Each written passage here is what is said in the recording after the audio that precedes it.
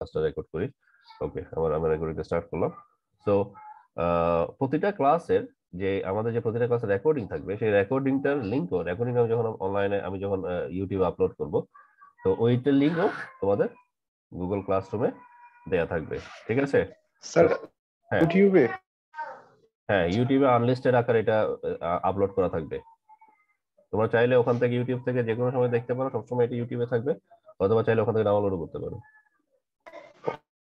Is it clear এটা দুইটা ওয়েতে হয়। একটা হচ্ছে গুগল ড্রাইভে আপলোড করে, একটা হচ্ছে ইউটিউবের মাধ্যমে আপলোড করে। সো ওইটা তোমরা দেখলেই বুঝতে পারবে। তো that's that's nothing difficult that's very easy so অর্থাৎ সোজা কথায়, এই কোর্স রিলেটেড যতগুলো রিসোর্স তোমাদের দরকার, সবগুলো রিসোর্স গুগল ক্লাসরুমে আমি দিয়ে দিব। আর গুগল ক্লাসরুমের লিঙ্কটা এবং ক্লাসের যে কোডটা সেটা আমি তোমাদেরকে তোমাদের হোয়াটসঅ্যাপ গ্রুপে দিয়ে দিব। এরপরে তোমাদের সাথে রেগুলার আমার যে কমিউনিকেশন রেগুলার যে ইন্টারাকশন সেটা হোয়াটসঅ্যাপেই হবে হোয়াটসঅ্যাপ গ্রুপে হবে, কিন্তু রিসোর্স শেয়ারিংটা রিসোর্স শেয়ারিংটা হোয়াটসঅ্যাপে হবে না। আমি রিসোর্স শেয়ারগুলো করব তোমার গুগল ক্লাসরুমে তো আমরা আমাদের মূল ক্লাসে চলে যাই। এক্সকিউজ মি তো আমার আমার একটু স্বাভাবিকভাবে একটু ঠান্ডা সমস্যা আছে। তো কারও যদি আমার কথা কোনো কারণে বুঝতে দিতে অসুবিধা হয়, আমাকে সাথে সাথে নক করবে।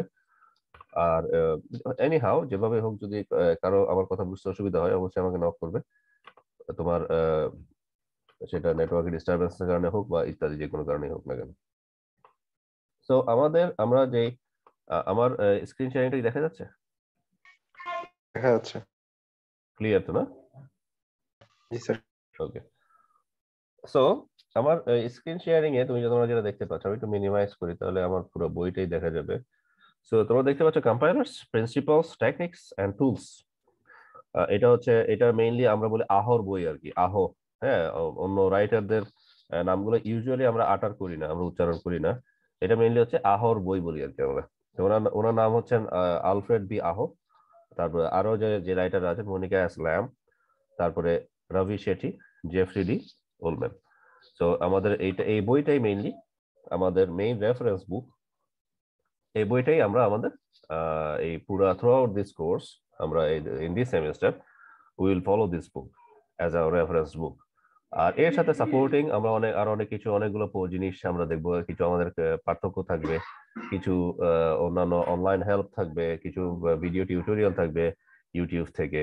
তো ওগুলো আমরা বিভিন্ন সময়, বিভিন্ন দরকার অনুযায়ী, অর্থাৎ প্রয়োজন অনুযায়ী সেগুলো আমরা দেখব। তো আমি একটু সরাসরি তোমাদেরকে যে জিনিসটা বলতে যাচ্ছি আমি সরাসরি প্রথমে আমাদের কোর্স কন্টেন্ট বা টেবল অফ কন্টেন্টে চলে যাচ্ছি। তো টেবল অফ কন্টেন্টে তোমরা যেটা দেখতে পাচ্ছ, একটু ম্যাক্সিমাইজ করি আমি।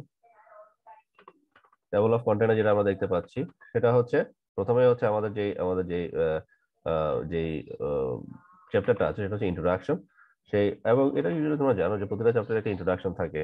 সো এখানেও সেম একটা ইন্টারাকশন আছে। সো ওই ইন্টারাকশনের মধ্যে প্রথমে আমাদের যে প্রথম যে আমরা আমরা মেইনলি এই যে চ্যাপ্টারটাতে আমি তোমাদেরকে প্রথমে একটু ব্রিফ করি যে on completion of this chapter will able to will able to learn or will able to gather knowledge about first হচ্ছে ল্যাঙ্গুয়েজ প্রসেসর অর্থাৎ ল্যাঙ্গুয়েজ প্রসেসর নিয়ে আমরা জানব। অর্থাৎ ল্যাঙ্গুয়েজ প্রসেসর মানে হচ্ছে কম্পাইলার ইন্টারপ্রিটার অ্যাসেম্বলার এগুলো সম্বন্ধে জানব। তারপর একটা structure of a compiler compiler structure সম্বন্ধে জানব, যেখানে কম্পাইলার স্ট্রাকচারের মধ্যে lexical analysis syntax analysis semantic analysis intermediate code generation code optimisation code generation এগুলা এই এই ছয়টা জিনিস খুব ভালো করে আমরা জানব। ওকে? এবং এগুলোর ভিত্তি করে যেটা আসবে সেটা নাম হচ্ছে সিম্পল টেবল ম্যানেজমেন্ট তারপরে grouping of phrases into pass compiler construction tools এরপরে আমরা আরও জানব মেইনলি আমরা জানব হচ্ছে ওয়ান পয়েন্ট ওয়ান এবং ওয়ান পয়েন্ট টু এর এই অংশটা আমাদের মূল উদ্দেশ্য এই এই ফার্স্ট চ্যাপ্টারটাতে অর্থাৎ জানার যে অংশটা সেটা হচ্ছে ফার্স্ট চ্যাপ্টারের এই ওয়ান পয়েন্ট ওয়ান এবং ওয়ান পয়েন্ট টু তে তো আশা করি সবাই আমার কথা শুনতে পাচ্ছ। বোঝা যাচ্ছে কি? হ্যাঁ সবসময় একটু একটা জিনিস মাথায় রাখবে আমার যে ইম্পর্টেন্ট আমাদের যে ইম্পর্টেন্ট কথাগুলো বিশেষ করে আমি যখন কথা বলব তখন কিছু ব্যাপারে আমি ইম্পর্টেন্স দিব। তো আমাদের পুরো ক্লাসটা ইম্পর্টেন্ট কিন্তু কিছু ব্যাপারে দেখবে আমি একটু বেশি ইম্পর্টেন্ট দিচ্ছি। সো ওই কথাগুলো কোনো অবস্থায় মিস করা যাবে না। ওগুলো অবশ্যই তোমরা আমার কাছে, ওগুলো তোমরা শোনার চেষ্টা করবে, বোঝার চেষ্টা করবে। এবং কোনো কারণে, যেটা একটু আগে বললাম যে কোনো কারণে নেটওয়ার্ক ইন্টারাপশন অথবা কোনো অন্যান্য টেকনিক্যাল ডিফিকাল্টির কারণে যদি কথা শোনা না যায়, আবার আমাকে রিপিট করবা বা আমাকে আবার জিজ্ঞেস করবা কোয়েরি করবা।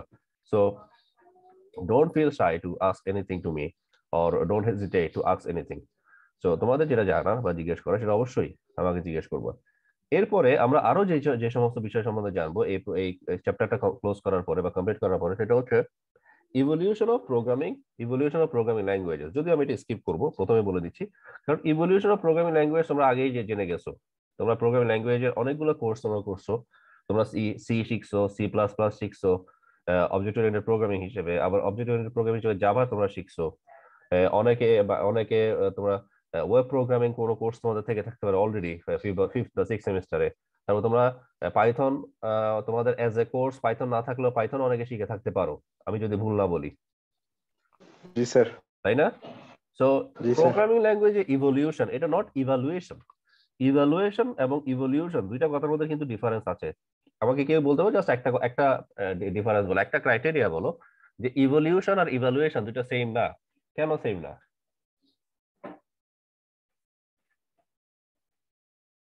এটা হচ্ছে ইভলিউশন এবং আরেকটা টার্ম হচ্ছে আরেকটা টার্ম হচ্ছে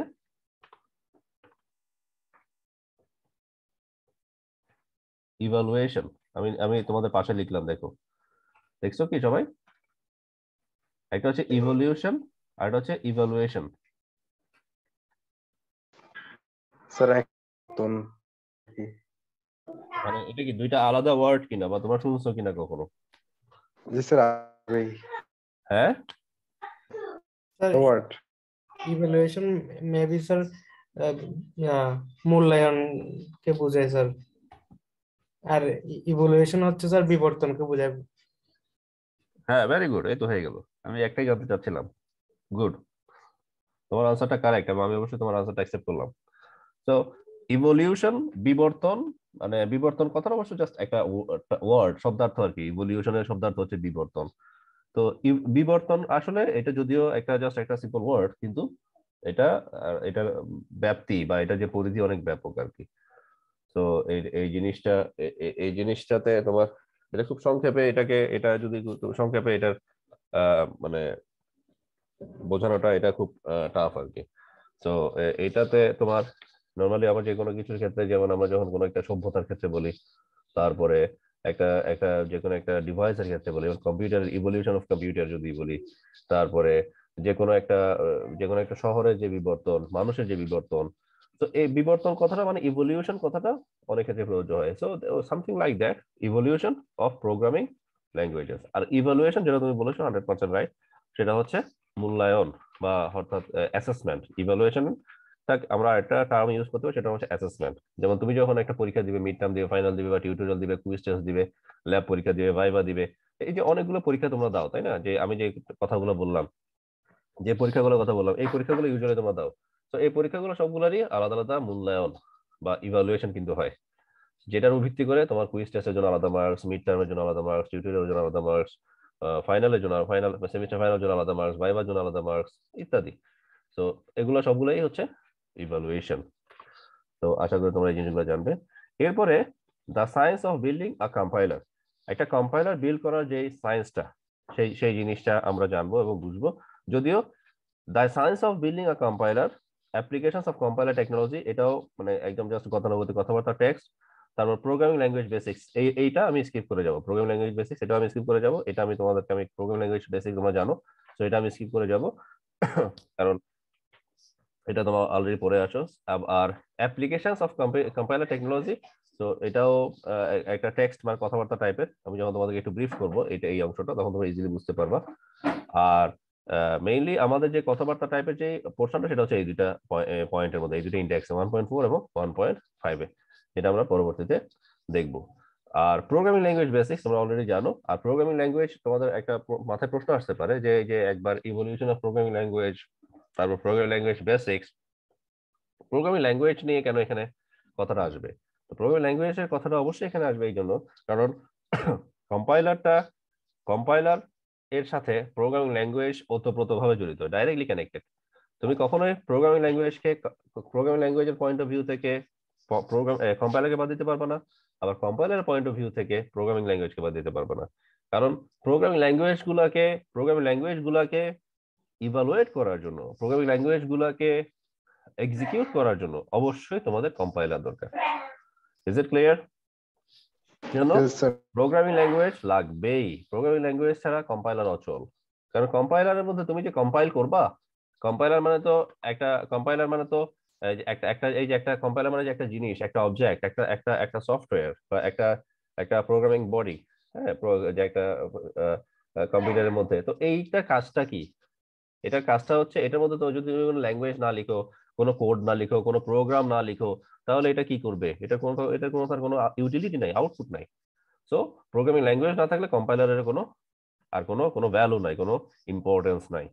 তো অবশ্যই কম্পাইলারের জন্য প্রোগ্রামিং ল্যাঙ্গুয়েজটা আমাদের লাগবে, খুবই ইম্পর্টেন্ট আর সবচেয়ে বড় কথা হচ্ছে আমাদের কম্পাইলারের ল্যাবের সবগুলো কাজে আমরা যে কোনো একটা প্রোগ্রামিং ল্যাঙ্গুয়েজ দিয়ে করব। সেটা সি দিয়ে হতে পারে সি প্লাস প্লাস দিয়ে হতে পারে অথবা জাভা দিয়ে হইতে পারে ওকে এবং যেটা তোমরা জানো যে আমাদের এক একটা এক একটা প্রোগ্রামিং ল্যাঙ্গুয়েজের জন্য আমরা এক এক ধরনের কম্পাইলার ইউজ করি।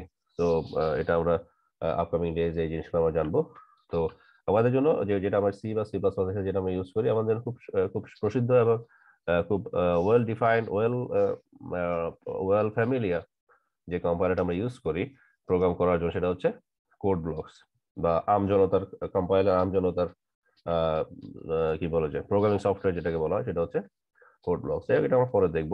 তো আমি প্রথমে আমাদের যে first ইন্ডেক্সটা one point one language processor সেটা চলে যাচ্ছে। তাহলে তোমরা নিশ্চয়ই বুঝতে পেরেছ যে আমাদের ফার্স্ট যে চ্যাপ্টারটা এই কোর্সের সেই কোর্সের এই এই চ্যাপ্টারের অবজেক্টিভটা কি? চ্যাপ্টার অবজেক্টিভ কি হবে, সেটা তোমরা অলরেডি বুঝে ফেলছো। তো আমাদের ফার্স্ট পেজটাতে চলে যায় এটা মেবি আর একটু পরে আছে। ওকে আমার ফার্স্ট পেজে চলে আসছি।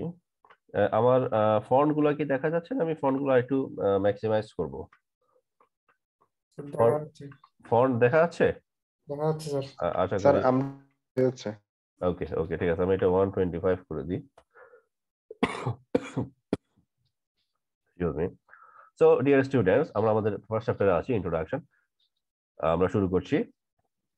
Programming languages R notations for describing computations to people and to machines অর্থাৎ প্রোগ্রামিং ল্যাঙ্গুয়েজের যে কাজগুলা, সেটা কি ওর কাজটা কি মেশিন এবং পিপলের কাছে, মানুষের কাছে কিছু কম্পিউটেশন ডেসক্রাইব করা। The world as we know it depends on programming languages তোমরা ভালো করে জানো প্রোগ্রামিং ল্যাঙ্গুয়েজের উপর ওয়ার্ল্ড কতটুকু ডিপেন্ড করে। Because all the software running on all the computers was written in some programming language এটাও তোমরা জানো যে অবশ্যই সফটওয়্যারগুলো সব সব সফটওয়্যার যে কোনো প্রোগ্রামিং ল্যাঙ্গুয়েজ যে কোনো কোনো প্রোগ্রামিং ল্যাঙ্গুয়েজ দিয়ে গঠিত। But before a program can be run মানে একটা প্রোগ্রাম রান হওয়ার আগে it first must be translated into a form এমন একটা এমন একটা ওয়েতে বা এমন একটা আকারে বা এমন একটা ফর্মে এটাকে ট্রান্সলেট করতে হবে in which it can be executed by a computer বা যার দ্বারা একটা কম্পিউটারকে এটা, এটা- একটা কম্পিউটার এটাকে এক্সিকিউট করতে পারে। আমরা যেটাকে কম্পিউটারের ভাষায় বলি রান করা। যেটাকে আমরা কম্পিউটার ভাষায় কি বলি? রান করা। রান করার আরেকটা নাম হচ্ছে এক্সিকিউট করা। এটা মনে থাকবে? যেটা তোমরা জানো তোমার প্রোগ্রাম স্যার তোমরা যখন প্রোগ্রাম আউটপুট বের করো প্রোগ্রাম যখন রান করো তখন তোমরা এই টার্মগুলো ইউজ করো রান করা এক্সিকিউট করা ইত্যাদি।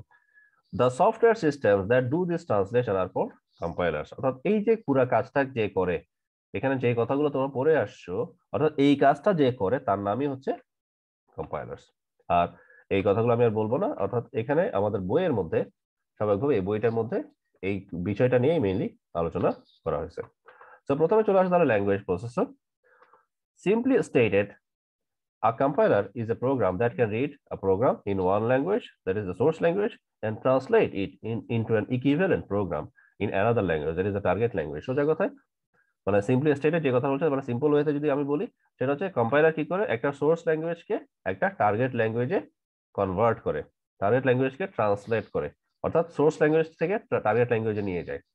যেটা আমি ফিগার নাম্বার ওয়ান পয়েন্ট ওয়ানে দেখব। এই যে তোমরা দেখতে পাচ্ছ figure number one point one নিচে লেখা আছে এ কম্পাইলার তো কম্পাইলার এখানে লেখা আছে আমি লাইনটা আবার বলি see figure one an important role of the compiler is to report any errors in the source program that it detects during the translation process অর্থাৎ কম্পাইলারের কাজটা কি? যখন তুমি একটা প্রোগ্রাম কম্পাইল তুমি যে ফার্স্ট সেমিস্টার থেকে ফার্স্ট সেমিস্টার সেকেন্ড সেমিস্টার থেকে প্রোগ্রাম অনবরত প্রোগ্রাম করে আসছো কম্পাইল করে আসছো এটা কাজটা কি আসলে? কি করে? এটা কি করে? এটা আমার প্রোগ্রামে কোনো এরর আছে কিনা?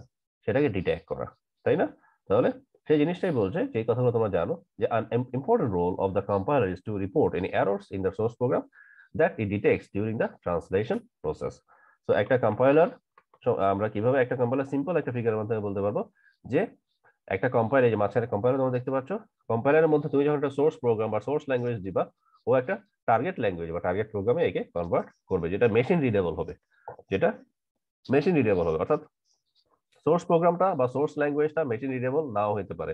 কম্পাইলারের কাজ হচ্ছে সেটাকে মেশিন রিডেবল ল্যাঙ্গুয়েজে কনভার্ট করা। তো এখানে আমি তোমাদেরকে একটা জিনিস বলে রাখি। আমাদের যে মেইনলি যে আমাদের, আমরা যেগুলোকে বলি ট্রান্সলেটর প্রোগ্রাম বা যেটাকে আমরা বাংলায় বলি অনুবাদক প্রোগ্রাম এরকম তিন ধরনের ট্রান্সলেটর প্রোগ্রাম বা অনুবাদক প্রোগ্রামের সাথে আমরা পরিচিত।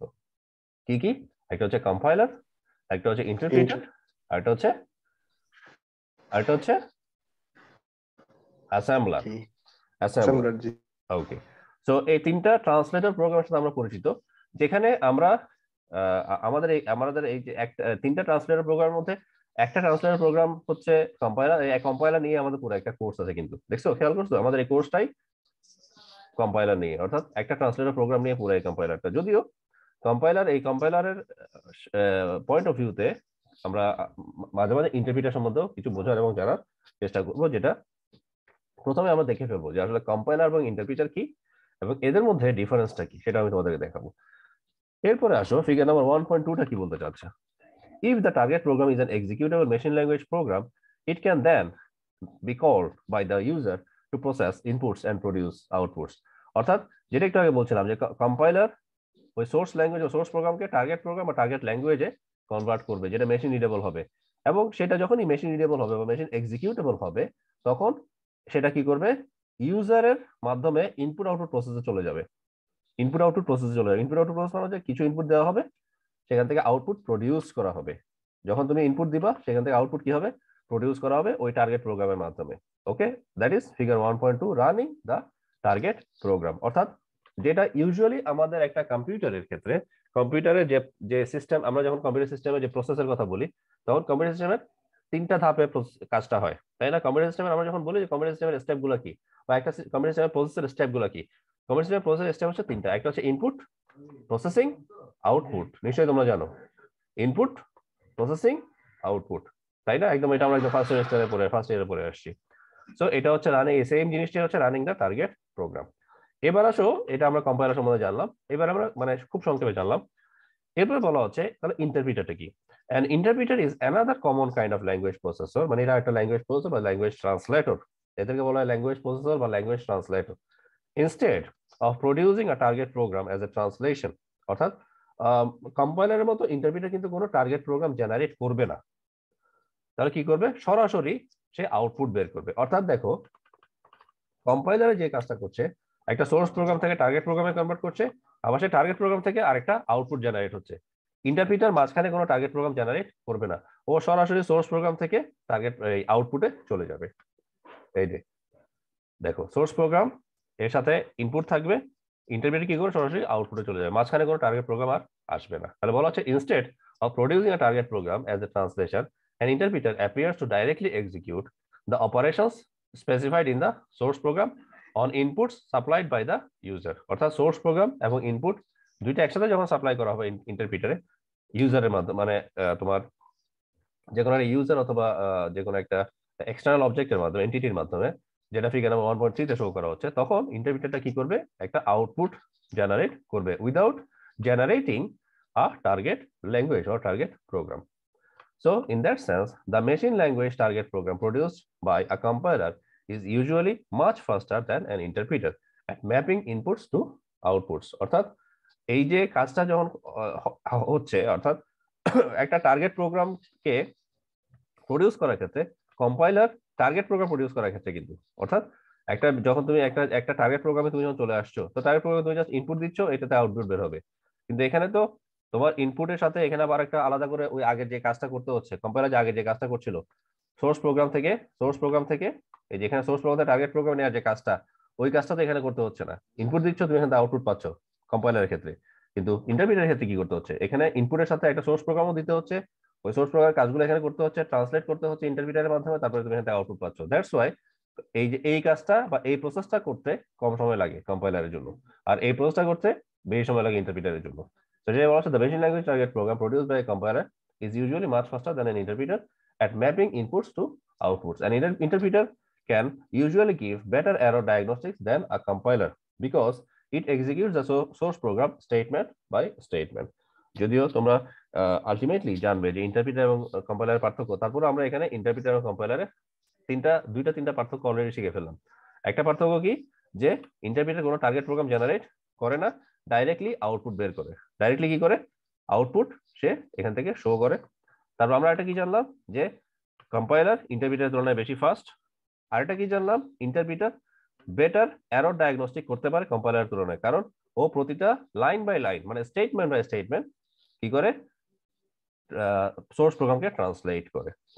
তাহলে আমরা অলরেডি ইন্টারপ্রিটার এবং কম্পাইলারের তিনটা পার্থক্য অলরেডি আমরা দেখে ফেলাম আবার তোমরা যদি মনে করো যে এই যে এই যে যে ফিগারটা এখানে দেখা যাচ্ছে, যে ফিগারটা আমরা দেখতে পাচ্ছি, এটা itself this figure itself is a difference এটাও তোমরা তাহলে এটাকে পার্থক্য হিসেবে এটাকেও তোমরা দিতে পারো। এই যে কম্পাইলারের ফিগারটা এবং ইন্টারপ্রিটার ফিগারটা একটা পার্থক্য আকারে তোমরা দিতে পারো। যখন যখন তোমাদের কম্পাইলার এবং ইন্টারপ্রিটার পার্থক্য তোমাদের কাছে জানতে চাইবে বা তোমাদের পরীক্ষা যাবে এটা খুবই খুবই ইম্পর্টেন্ট একটা ব্যাপার যে কম্পাইলার এবং ইন্টারপ্রিটারের পার্থক্যটা। সো এটা তোমরা অবশ্যই দেখবে এবং পড়বে। এরপরে আমরা একটা হাইব্রিড কম্পাইলার একটা হাইব্রিড কম্পাইলারের একটা ছবি আমরা এখানে দেখতে পাচ্ছি। অর্থাৎ সোজা দেখো, এখানে তোমরা এই দুইটা ফিগারকে figure number one point one এবং figure number one point two কে একসাথে করে ফেলো। তাহলে দেখো, আমরা এই ধরনের একটা হাইব্রিড কম্পাইলারের একটা ছবি আমরা পাবো। তো এখানে ডিফারেন্সটা হচ্ছে, অর্থাৎ একটা তুমি সোর্স প্রোগ্রামকে কম্পাইলার মানে ট্রান্সলেটর মানে কম্পাইলার এখানে ট্রান্সলেটর মানে বোঝানো হচ্ছে কম্পাইলারকে সোর্স প্রোগ্রামকে কোথায় নিবে? টার্গেট প্রোগ্রামে এখানে টার্গেট প্রোগ্রামটা হচ্ছে একটা ইন্টারমিডিয়েট প্রোগ্রাম অর্থাৎ যেহেতু আরও কাজ আছে, এখানে কাজ শেষ হয়ে যাচ্ছে না, সেজন্য এটাকে টার্গেট প্রোগ্রাম না বলে বলা হচ্ছে ইন্টারমিডিয়েট প্রোগ্রাম আর এটাকে একটা ভার্চুয়াল মেশিনের মধ্যে তুমি দিয়ে দিচ্ছ এটাতে ইনপুট দিচ্ছ, তারপর এখান থেকে তুমি কি পাচ্ছ? কিছু আউটপুট পাচ্ছ। এটাকে বলা হচ্ছে একটা হাইব্রিড কম্পাইলার তো এরপরে আমরা আমরা যে জিনিসটা আমরা এখানে দেখতে পাচ্ছি তো এটা হাইব্রিড কম্পাইলারের একটা হাইব্রিড কম্পাইলারের একটা ছবি এখানে দেখানো হচ্ছে। তো এটা একটা ছোট একটা এক্সাম্পল এখানে দেওয়া আছে, এটা আমরা স্কিপ করে যাচ্ছি। তো এরপরে আমরা মেইনলি আমার, আমরা চলে যাব ফিগার নাম্বার ওয়ান পয়েন্ট ফাইভে সেটা একটু ডেসক্রিপশন আমরা একটু এখানে দেখি। In addition to a compiler, several other program programs may be required to create an executable target program as shown in figure 1.5. আমরা ফিগার 1.5 টা একটু দেখে আসি। ফিগার 1.5 সো এটা হচ্ছে একটা ল্যাঙ্গুয়েজ প্রসেসিং সিস্টেম যখনই তোমাদেরকে জানতে চাইবে যে আসলে ল্যাঙ্গুয়েজ প্রসেসিং সিস্টেমটা কি সেটা হচ্ছে এটা তো একটা ল্যাঙ্গুয়েজ প্রসেসিং সিস্টেমের মধ্যে একটা কম্পাইলার কীভাবে কাজ করে তাহলে প্রথমে এটাতে কি থাকবে? একটু তোমাদের মাইক্রোফোন গুলো অফ রাখবে। ওকে থ্যাংক ইউ সো একটা একটা কম্পাই একটা ল্যাঙ্গুয়েজ প্রসেসিং সিস্টেমের মধ্যে কম্পাইলার কীভাবে কাজ করে সেটা দেখা, দেখানো হচ্ছে এবং যেখানে একটা প্রথমে একটা প্রি প্রসেসর থাকবে। তারপরে পরের স্টেজ পরের স্টেপটা হচ্ছে কম্পাইলার তারপর স্টেপ হচ্ছে অ্যাসেম্বলার তারপর স্টেপ হচ্ছে লিঙ্কার অর লোডার তাহলে দেখো, এই পুরো কাজটা করার পরে আলটিমেটলি আমি একটা টার্গেট মেশিন কোড বা টার্গেট মেশিন প্রোগ্রাম বা টার্গেট মেশিন ল্যাঙ্গুয়েজ তুমি যেটা বলো না কেন প্রথমে সোর্স প্রোগ্রাম লাস্ট একটা হচ্ছে টার্গেট প্রোগ্রাম সবসময় সেম যেটা আগেও তোমরা দেখে আসছো। প্রথমটা হচ্ছে সোর্স প্রোগ্রাম তারপরটা হচ্ছে টার্গেট প্রোগ্রাম সো এটা তুমি টার্গেট প্রোগ্রাম বলতে পারো টার্গেট মেশিন কোড বলতে পারো টার্গেট মেশিন ল্যাঙ্গুয়েজ বলতে পারো, বা টার্গেট মেশিন প্রোগ্রাম বলতে পারো অ্যাজ ইউ উইশ তো এখান থেকে, তাহলে দেখো, প্রথম হচ্ছে প্রি প্রসেসর প্রি প্রসেসরের পরে যে এখানে এখানে যে যেটা কাজ করবে, সেটা হচ্ছে মডিফাইড সোর্স প্রোগ্রাম মানে সোর্স প্রোগ্রামটাকে মডিফাই করলে যেটা হবে, সেটা হবে মডিফাইড সোর্স প্রোগ্রাম তারপর সেটা কম্পাইলার কাছে যাবে। তারপর কম্পাইলার যেটা করবে অ্যাসেম্বলারের কাছে কার মাধ্যমে টার্গেট অ্যাসেম্বলি প্রোগ্রামের মাধ্যমে, তারপরে অর্থাৎ এই মডিফাইড সোর্স প্রোগ্রামটা টার্গেট অ্যাসেম্বলি প্রোগ্রামে কনভার্ট হবে, তারপরে অ্যাসেম্বলার কি করবে? এই টার্গেট অ্যাসেম্বলি প্রোগ্রামটাকে রিলোকেটেবল মেশিন কোডে কনভার্ট করবে।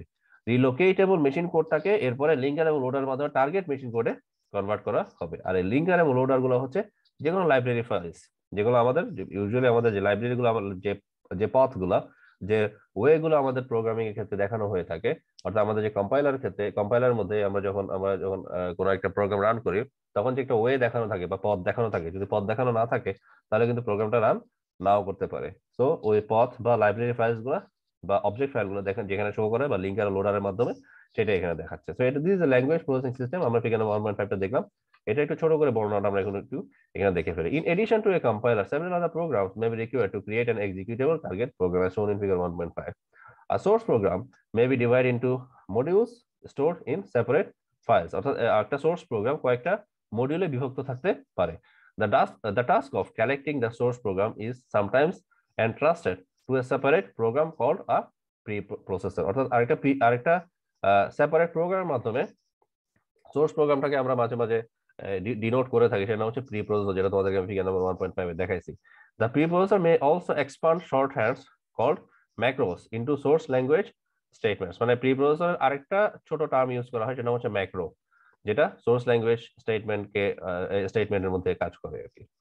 The modified source program is then fed to a compiler অর্থাৎ এই যে পুরো জিনিসটারই, অর্থাৎ তোমার প্রথমে সোর্স প্রোগ্রাম তার মডিফাইড সোর্স প্রোগ্রাম তারপরে তোমার ইত্যাদি ইত্যাদি, এভাবে আলটিমেটলি টার্গেট প্রোগ্রামে যাবে। এই যে পুরো বর্ণটা, এই পুরো বর্ণটা এখানে শো করছে। তো সেটাই বলা হচ্ছে যে the modified source program is then fed to a compiler fed মানে কি? এখানে ফেড কথাটার অর্থ কি? এটা কেউ বলতে পারবে?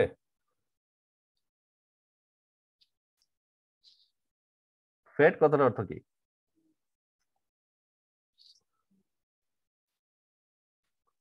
সবাই আছে তো ক্লাসে স্যার পাচ্ছি না। স্যার এখানে the modif program হ্যাঁ বুঝি নাই? স্যার হইতে পারে ফেট মানে আচ্ছা ফুড মানে কি?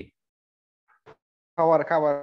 ফেট মানে খাবার আচ্ছা। খাওয়াই দিবে। আহ, যদি আমি যদি বলি যে the food is food is মানে যে আমি ফুড যদি ফুডের অর্থ যদি খাবার হয় তাহলে কাউকে খাওয়ানো ইংরেজি কি হবে? কাউকে খাওয়ানো giving food to anyone else fed কাউকে খাওয়ানো কোনো কিছু তুমি যদি খাওয়াইতে চাও দাওয়াত করে খাওয়াইতে চাও বা কাউকে তুমি ট্রিট দিতে চাও বা তোমার বার্থডেতে খাওয়াইতে চাও তোমার কোনো সেলিব্রেশনে খাওয়াইতে চাও তো এই যে কাউকে খাওয়ানো তো এটা কি আমি বলব যে giving food to anyone else your friend your nearest dearest one or relatives এটা? কাউকে খাওয়ানো কি গিভিং ফুড নাকি? তখন তো ফুড নাকি ফিডিং খাবার দেওয়া ফিডিং কাউকে খাওয়ানো মানে কি?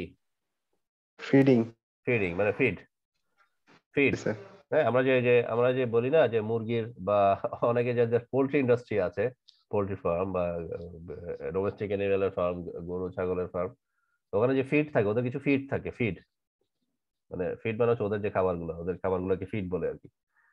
বাট ওইটা ডিফারেন্ট টার্ম মানে ওয়ার্ডটা একই বাট মিনিংটা ডিফারেন্ট আর কি। আবার ইউজুয়ালি ফিড মানে হচ্ছে খাওয়ানো। তুমি যদি কাউকে খাওয়াতে চাও, সেটা হচ্ছে ফিড ওকে ফিডিং তো ফিডিংটাকে ফিড ফিডের যে পাঁচটা সেটা হচ্ছে ফেড ফিড হচ্ছে এফ ডাবল ইডি আর ফেড হচ্ছে এফইডি কাউকে খাওয়ানো। ইজ ইট ক্লিয়ার সো এখানে হচ্ছে কম্পাইলারকে এটা যদিও এখানে এটা আসলে খাওয়ানো এটা টার্মটা নট এক্সাক্ট মানে এটা বোঝানো হচ্ছে যে the modified source is then fed to a compiler মানে কম্পাইলারকে দেওয়া হয় বা কম্পাইলার ইজ গিভেন কম্পাইলারকে একটা এই সোর্স প্রোগ্রামটা মডিফাইড সোর্স প্রোগ্রাম কম্পাইলার কাছে দেওয়া হয় সেটাই বোঝানো হচ্ছে আর কি। মানে এখানে খাওয়ানোর কথাটাই ওভাবে মিন করছে। The compiler may produce an assembly language program মানে পরের স্টেজটার কথা বলছে as its output because assembly language is easier to produce and uh, produce as output and is easier to debug assembly languageটা আবার একটু মোর তোমার মোর ইজি আর কি ডিবাগিং এর জন্য।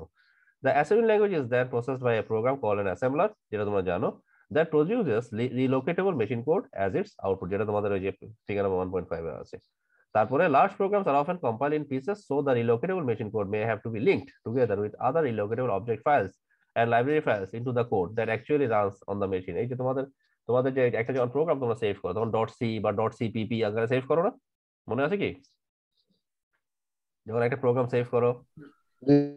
হ্যাঁ এটা কেন? এটা কেন? এটা আমাকে এটা একটা কে বলতে পারবে এই জিনিসটা কেন? অনেক সময় ডট সি তে কাজ করে না ডট সিপিপি দিতে হয় এক্সটেনশন প্লাস প্লাস এই জিনিসটা কেন? এই জিনিস আমার ক্লিয়ার করে বলো। তিরিশ সেকেন্ডের মধ্যে। জানি না তো স্যার আলাদা ল্যাঙ্গুয়েজে আলাদা আলাদা এক্সটেনশন এক্সটেনশন থাকে ওইটার কারণে। সোর্স প্রবলেম হতে পারে। হ্যাঁ সোর্সটা কোথায় আছে সেটা বোঝানোর জন্য। মানে সোর্স সোর্স ফাইলটা সোর্স ফাইলটা বা অবজেক্ট ফাইলটা কোথায় আছে সেটা দেখানোর জন্য বা পথটা শো করার জন্যই আমার এরকম কিছু কিছু. ডট সি দিয়ে কাজ করে, কিছু. ডট সি পিপি দিয়ে কাজ করে হ্যাঁ? তো ওইটা, ওইটাই ওইটাই মেইনলি যে লিঙ্কার লিঙ্কার ওই কাজটা করে লিঙ্কার বা লোডার ওই কাজটা করে। The linker resolves external memory addresses where the code in one file may refer to a location in another file. মানে এখানে আরেকটা কাজ করে, অর্থাৎ তোমার যে প্রোগ্রাম তুমি যখন একটা প্রোগ্রাম লিখছো, একটা প্রোগ্রাম যখন তুমি সেভ করছ, সে সেভ করার সময় যা যখন আমরা বিল্ড করি একটা প্রোগ্রাম তো সেভ করার সময় সে অবশ্যই তোমার কম্পিউটারে কোনো না কোনো জায়গা সে দখল করবে। একটা লোকেশনের মধ্যে, একটা লোকেশনের মধ্যে প্রোগ্রামটা সেভ করা থাকবে না। তো এই জিনিসগুলো লিঙ্কার এবং লোডার লিঙ্কার হচ্ছে যে তোমার ওই যে অবজেক্ট ফাইলের সাথে লিঙ্ক করবে, আর লোডার লোডারটা হচ্ছে তোমার এই জিনিসটাকে, এটাকে লোড করবে। অর্থাৎ একটা নির্দিষ্ট মেমোরি ফাইল বা মেমোরি লোকেশনের মধ্যে সেটাকে লোড করবে মানে সেভ করবে। The loader then puts together all of the executive object files into memory for execution memory মানে হচ্ছে যেখানে তোমার এই লোড এই ফাইলগুলো লোড করা অবস্থায় বা সেভ করা অবস্থায় থাকবে। তো আমাদের ইউজুয়ালি যে কোনো কিছুতে আমাদের মেমোরিতে থাকে। মেমোরি মানে আমাদের যে আমাদের যে কম্পিউটারে বা মেমোরি অর্থাৎ সেটা হার্ড ডিস্ক ড্রাইভ হতে পারে, সেটা শর্ট মেমোরি হলে র্যামে বা ক্যাশে মেমোরিতে থাকতে পারে ফিক্সড মেমোরি বা পার্মানেন্ট মেমোরি হলে সেটা রমে থাকতে পারে, যেটা তোমরা জানো। তো এভাবে আমাদের বা আমাদের কিছু কিছু রিমুভেবল মেমোরি কিছু রিমুভেবল ডিস্ক ধরো সিডি ড্রাইভ ডিভিডি ড্রাইভ থাকতে পারে প্যান ড্রাইভ থাকতে পারে তো এই ধরনের এগুলো সবগুলো আলাদা আলাদা আলাদা মেমোরি অর্থাৎ কিছু তোমার সিস্টেমের সাথে, কিছু তোমার সিস্টেমের সাথে পার্মানেন্টলি থাকে, কিছু সিস্টেমের সাথে তোমার টেম্পোরারি থাকে বা কিছু তোমার কি বলা যায়, একটু ওই যে মানে আসা যাওয়ার মধ্যে থাকে, ভাসমান অবস্থায়, যেমন পেন ড্রাইভ পেন ড্রাইভ সবসময় তোমার কম্পিউটারের সাথে লাগানো থাকে না তো এটা চেঞ্জ হয়। তো আমরা একটা কম্পাইলারের স্ট্রাকচার দেখার আগে, একটা কম্পিউটার স্ট্রাকচার যেটা তোমরা এখানে দেখতে পাচ্ছ, এটা একটু বড়। তো এবং প্রতিটা আলাদা আলাদা করে আমরা বর্ণনা দেখব। এবং আরও ইন্টারেস্টিংলি তোমাদেরকে বলতে গেলে, প্রতিটার আলাদা আলাদা করে যে lexical analysis syntax analysis semantic এগুলো কিন্তু আলাদা আলাদা করে একটা একটা চ্যাপ্টার আছে। যেরকম ফার্স্ট চ্যাপ্টারটা ইন্ট্রোডাকশন নিয়ে ইন্ট্রোডাকশন বলছে না ফার্স্ট চ্যাপ্টারটা সেকেন্ড এরকম প্রতিটা এরকম লেক্সিক্যাল অ্যানালাইসিস নিয়ে একটা চ্যাপ্টার আছে। সিনট্যাক্স অ্যানালাইসিস নিয়ে একটা আলাদা চ্যাপ্টার আছে। সিমেন্টিক অ্যানালাইসিস নিয়ে আলাদা চ্যাপ্টার ইন্টারমিডিয়েট জেনারেটর আলাদা চ্যাপ্টার আছে।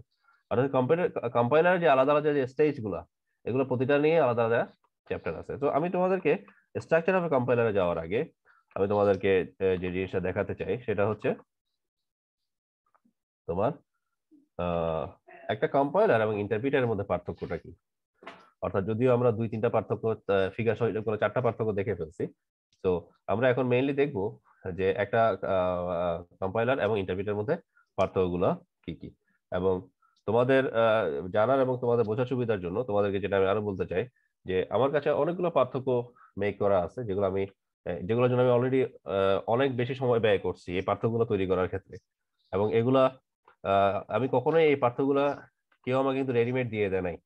তো আমি এগুলোর জন্য আমি এগুলোর জন্য অনেক অনেক ট্রাই করছি এবং এগুলা, এগুলোর জন্য মানে আমাকে কষ্ট করতে হয়েছে তো এই পার্থক্যগুলা তোমার, আমার কাছে অনেকগুলো পার্থক্য আছে, বিভিন্ন বিভিন্ন টার্ম বিভিন্ন স্বাভাবিক পার্থক্য তো usually দুইটা দুইটা দুইটা টার্মের মধ্যেই হয়। সো এরকম অসংখ্য পার্থক্য আমার কাছে আছে। সো তোমাদের যদি কারও কখনো দরকার হয় তোমরা চাইলে তোমরা আমার কাছ থেকে এই পার্থক্য তোমরা আমার কাছ থেকে আমি তোমাদের প্রোভাইড করতে পারি তোমার কাছে নিতে পারো। তো এই জিনিস এইটা এই এইটা তোমাদের জন্য খুবই হেল্পফুল এবং খুব কাজে আসবে। যেহেতু তোমরা এখন লাস্টের দিকে আছো অর্থাৎ মানে ফাইনাল ইয়ারে তোমরা এখন আছো সেভেন সেমিস্টারে হ্যালো হ্যালো আমি শুনতে পাচ্ছি। হ্যালো শুনতে পাচ্ছি? Sir is it Islam Masum? Hmm কেউ কথা বলতে চাচ্ছিল আমার সাথে? একটু বলো সমস্যা নেই আমি শুনতে পাচ্ছি। স্যার ওর হয় ভুলে আচ্ছা ওকে ঠিক আছে ঠিক আছে। আমি তাহলে মিউট করে দিচ্ছি।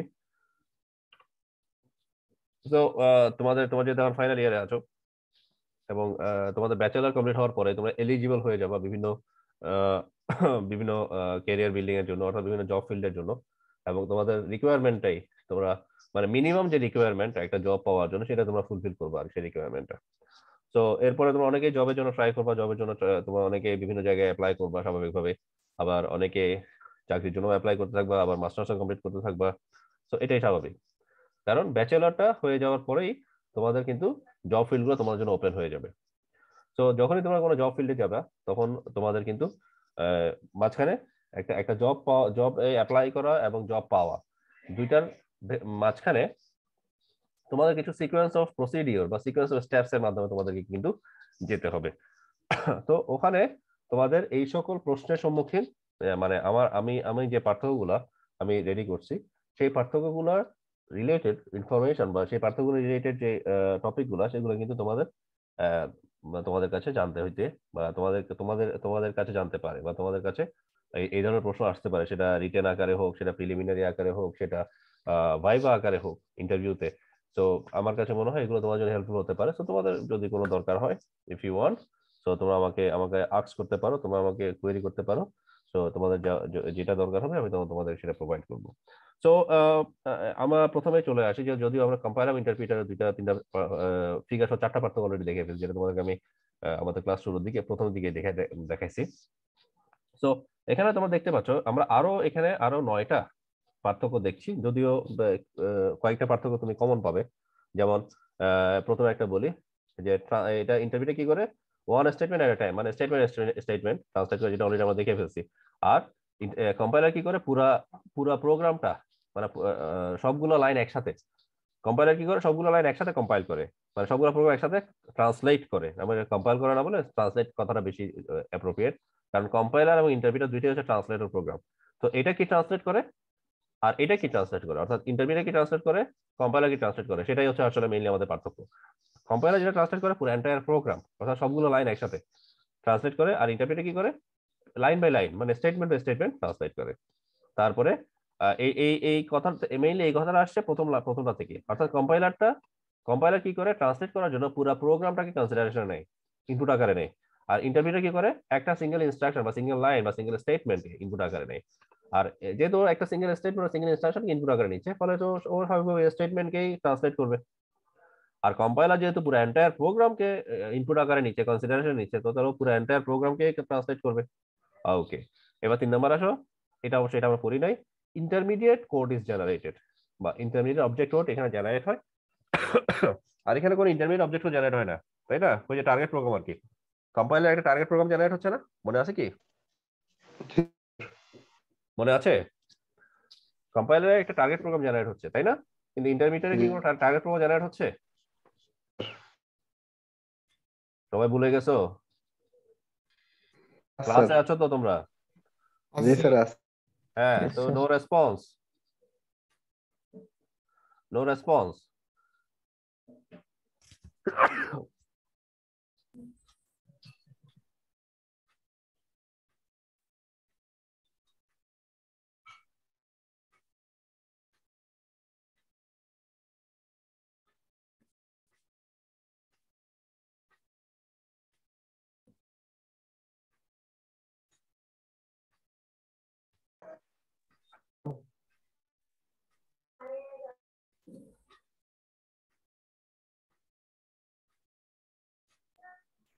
No.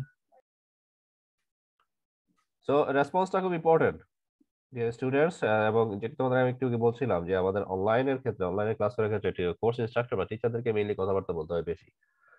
আর স্বাভাবিকভাবে সেজন্য অনলাইনে ক্লাসটা একটু মুভ করে খুব ফাস্ট অফলাইনে বা ফিজিক্যাল ক্লাসরুমের তুলনায়।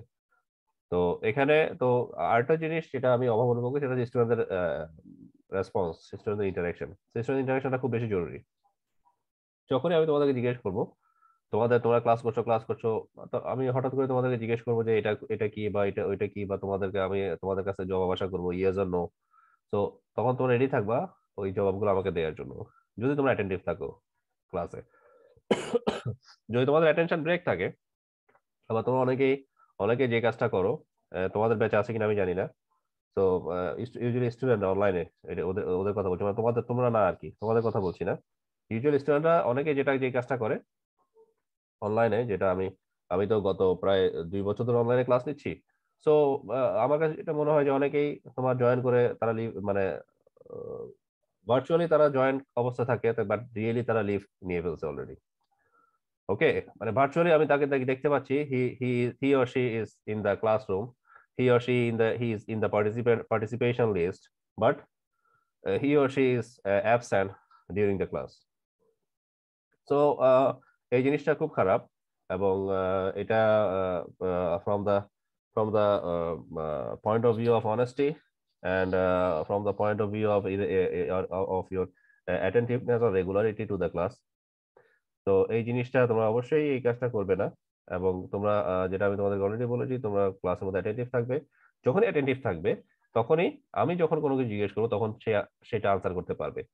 তো ওইটাই খুব বেশি জরুরি। এবং সবসময় মাথায় রাখবে যারা রেগুলার ক্লাস করে, যারা ক্লাস অ্যাটেন্টিভ থাকে এবং যারা টিচারের টিচার কি বলছে এটা বোঝার চেষ্টা করে, তখনই তারা আলটিমেটলি পরীক্ষা ভালো করতে পারে বা তারা, তারাই পরীক্ষা ভালো করে। কারণ একটা ক্লাস করে ফেলা গতানুগতিক ভাবে বা ক্লাসে প্রেজেন্ট থাকা বা না থাকা ক্লাস শেষে টিচার তো রেকর্ডিং দিয়ে দিবে শিট দিয়ে দিবে কোর্স কন্টেন্টগুলো রিসোর্সগুলো সব দিয়ে দিবে। তুমি সবকিছু পেয়ে যাচ্ছ কিন্তু কিন্তু সবকিছু পেয়ে যাওয়ার পরেও ক্লাসটা কেন ইম্পর্টেন্ট কারণ একটা ক্লাসের মাধ্যমে একটা টিচারের মাইন্ডসেটটা কি? বা একজন, এটা এই যে একজন কোর্স ইনস্ট্রাক্টর, একটা কোর্স পড়াচ্ছেন, তা তিনি আসলে কোন জিনিসটাকে উনি তিনি গুরুত্ব দিতে চাইছেন বা কোন জিনিসটাকে উনি বেশি এমফেসাইজ করছেন? উনি কোন জিনিসটার প্রতি উনি ওনার ওনার যেই কোন জিনিসটাতে ইনফ্লুয়েন্সটা দেখানোর চেষ্টা করছেন? তো বা কোন কোন টপিক গুলোকে উনি একটু, উনি প্রেশার দিয়ে পড়াইছেন বা কোন টপিক গুলোকে উনি একটু উনি একটু কম কনসিডারেশন নিচ্ছেন তো এই জিনিসগুলো কিন্তু খুব ইম্পর্টেন্ট সোজা কথা, একটা টিচারের পালস বোঝা যায়। একটা টিচারের পালস তুমি বুঝতে পারবা, একটা ক্লাস তুমি যখন করবা। তো তুমি যদি ক্লাস না করো, তো তুমি তো টিচারের ভয়েসটা কীরকম হবে টিচার কীভাবে বুঝায়? কারণ তুমি, তোমরা নিশ্চয়ই জানতে, তোমরা ফার্স্ট সেমিস্টার থেকে বা ফার্স্ট ইয়ার থেকে নিয়ে এখন, তোমরা অলরেডি ফাইনাল ইয়ারে আসছো সেভেন সেমিস্টারে আসছো। তোমাদের কাছে কি মনে হয় যে প্রতিটা টিচার একই রকম করে পড়ায়? প্রতিটা টিচার কি একই রকম করে বুঝায়? প্রতিটা টিচার টিচারের বোঝানোর ক্ষমতা এক্সকিউজ মি প্রতিটা টিচারের বোঝানোর ক্ষমতা এক্সপ্লেইন করার ক্ষমতা প্রতিটা টিচারের ডেসক্রিপশনের ক্ষমতা বা এক্সাম্পল দেওয়ার ক্ষমতা একই রকম? প্রতিটা টিচারের ভয়েস কি একই রকম?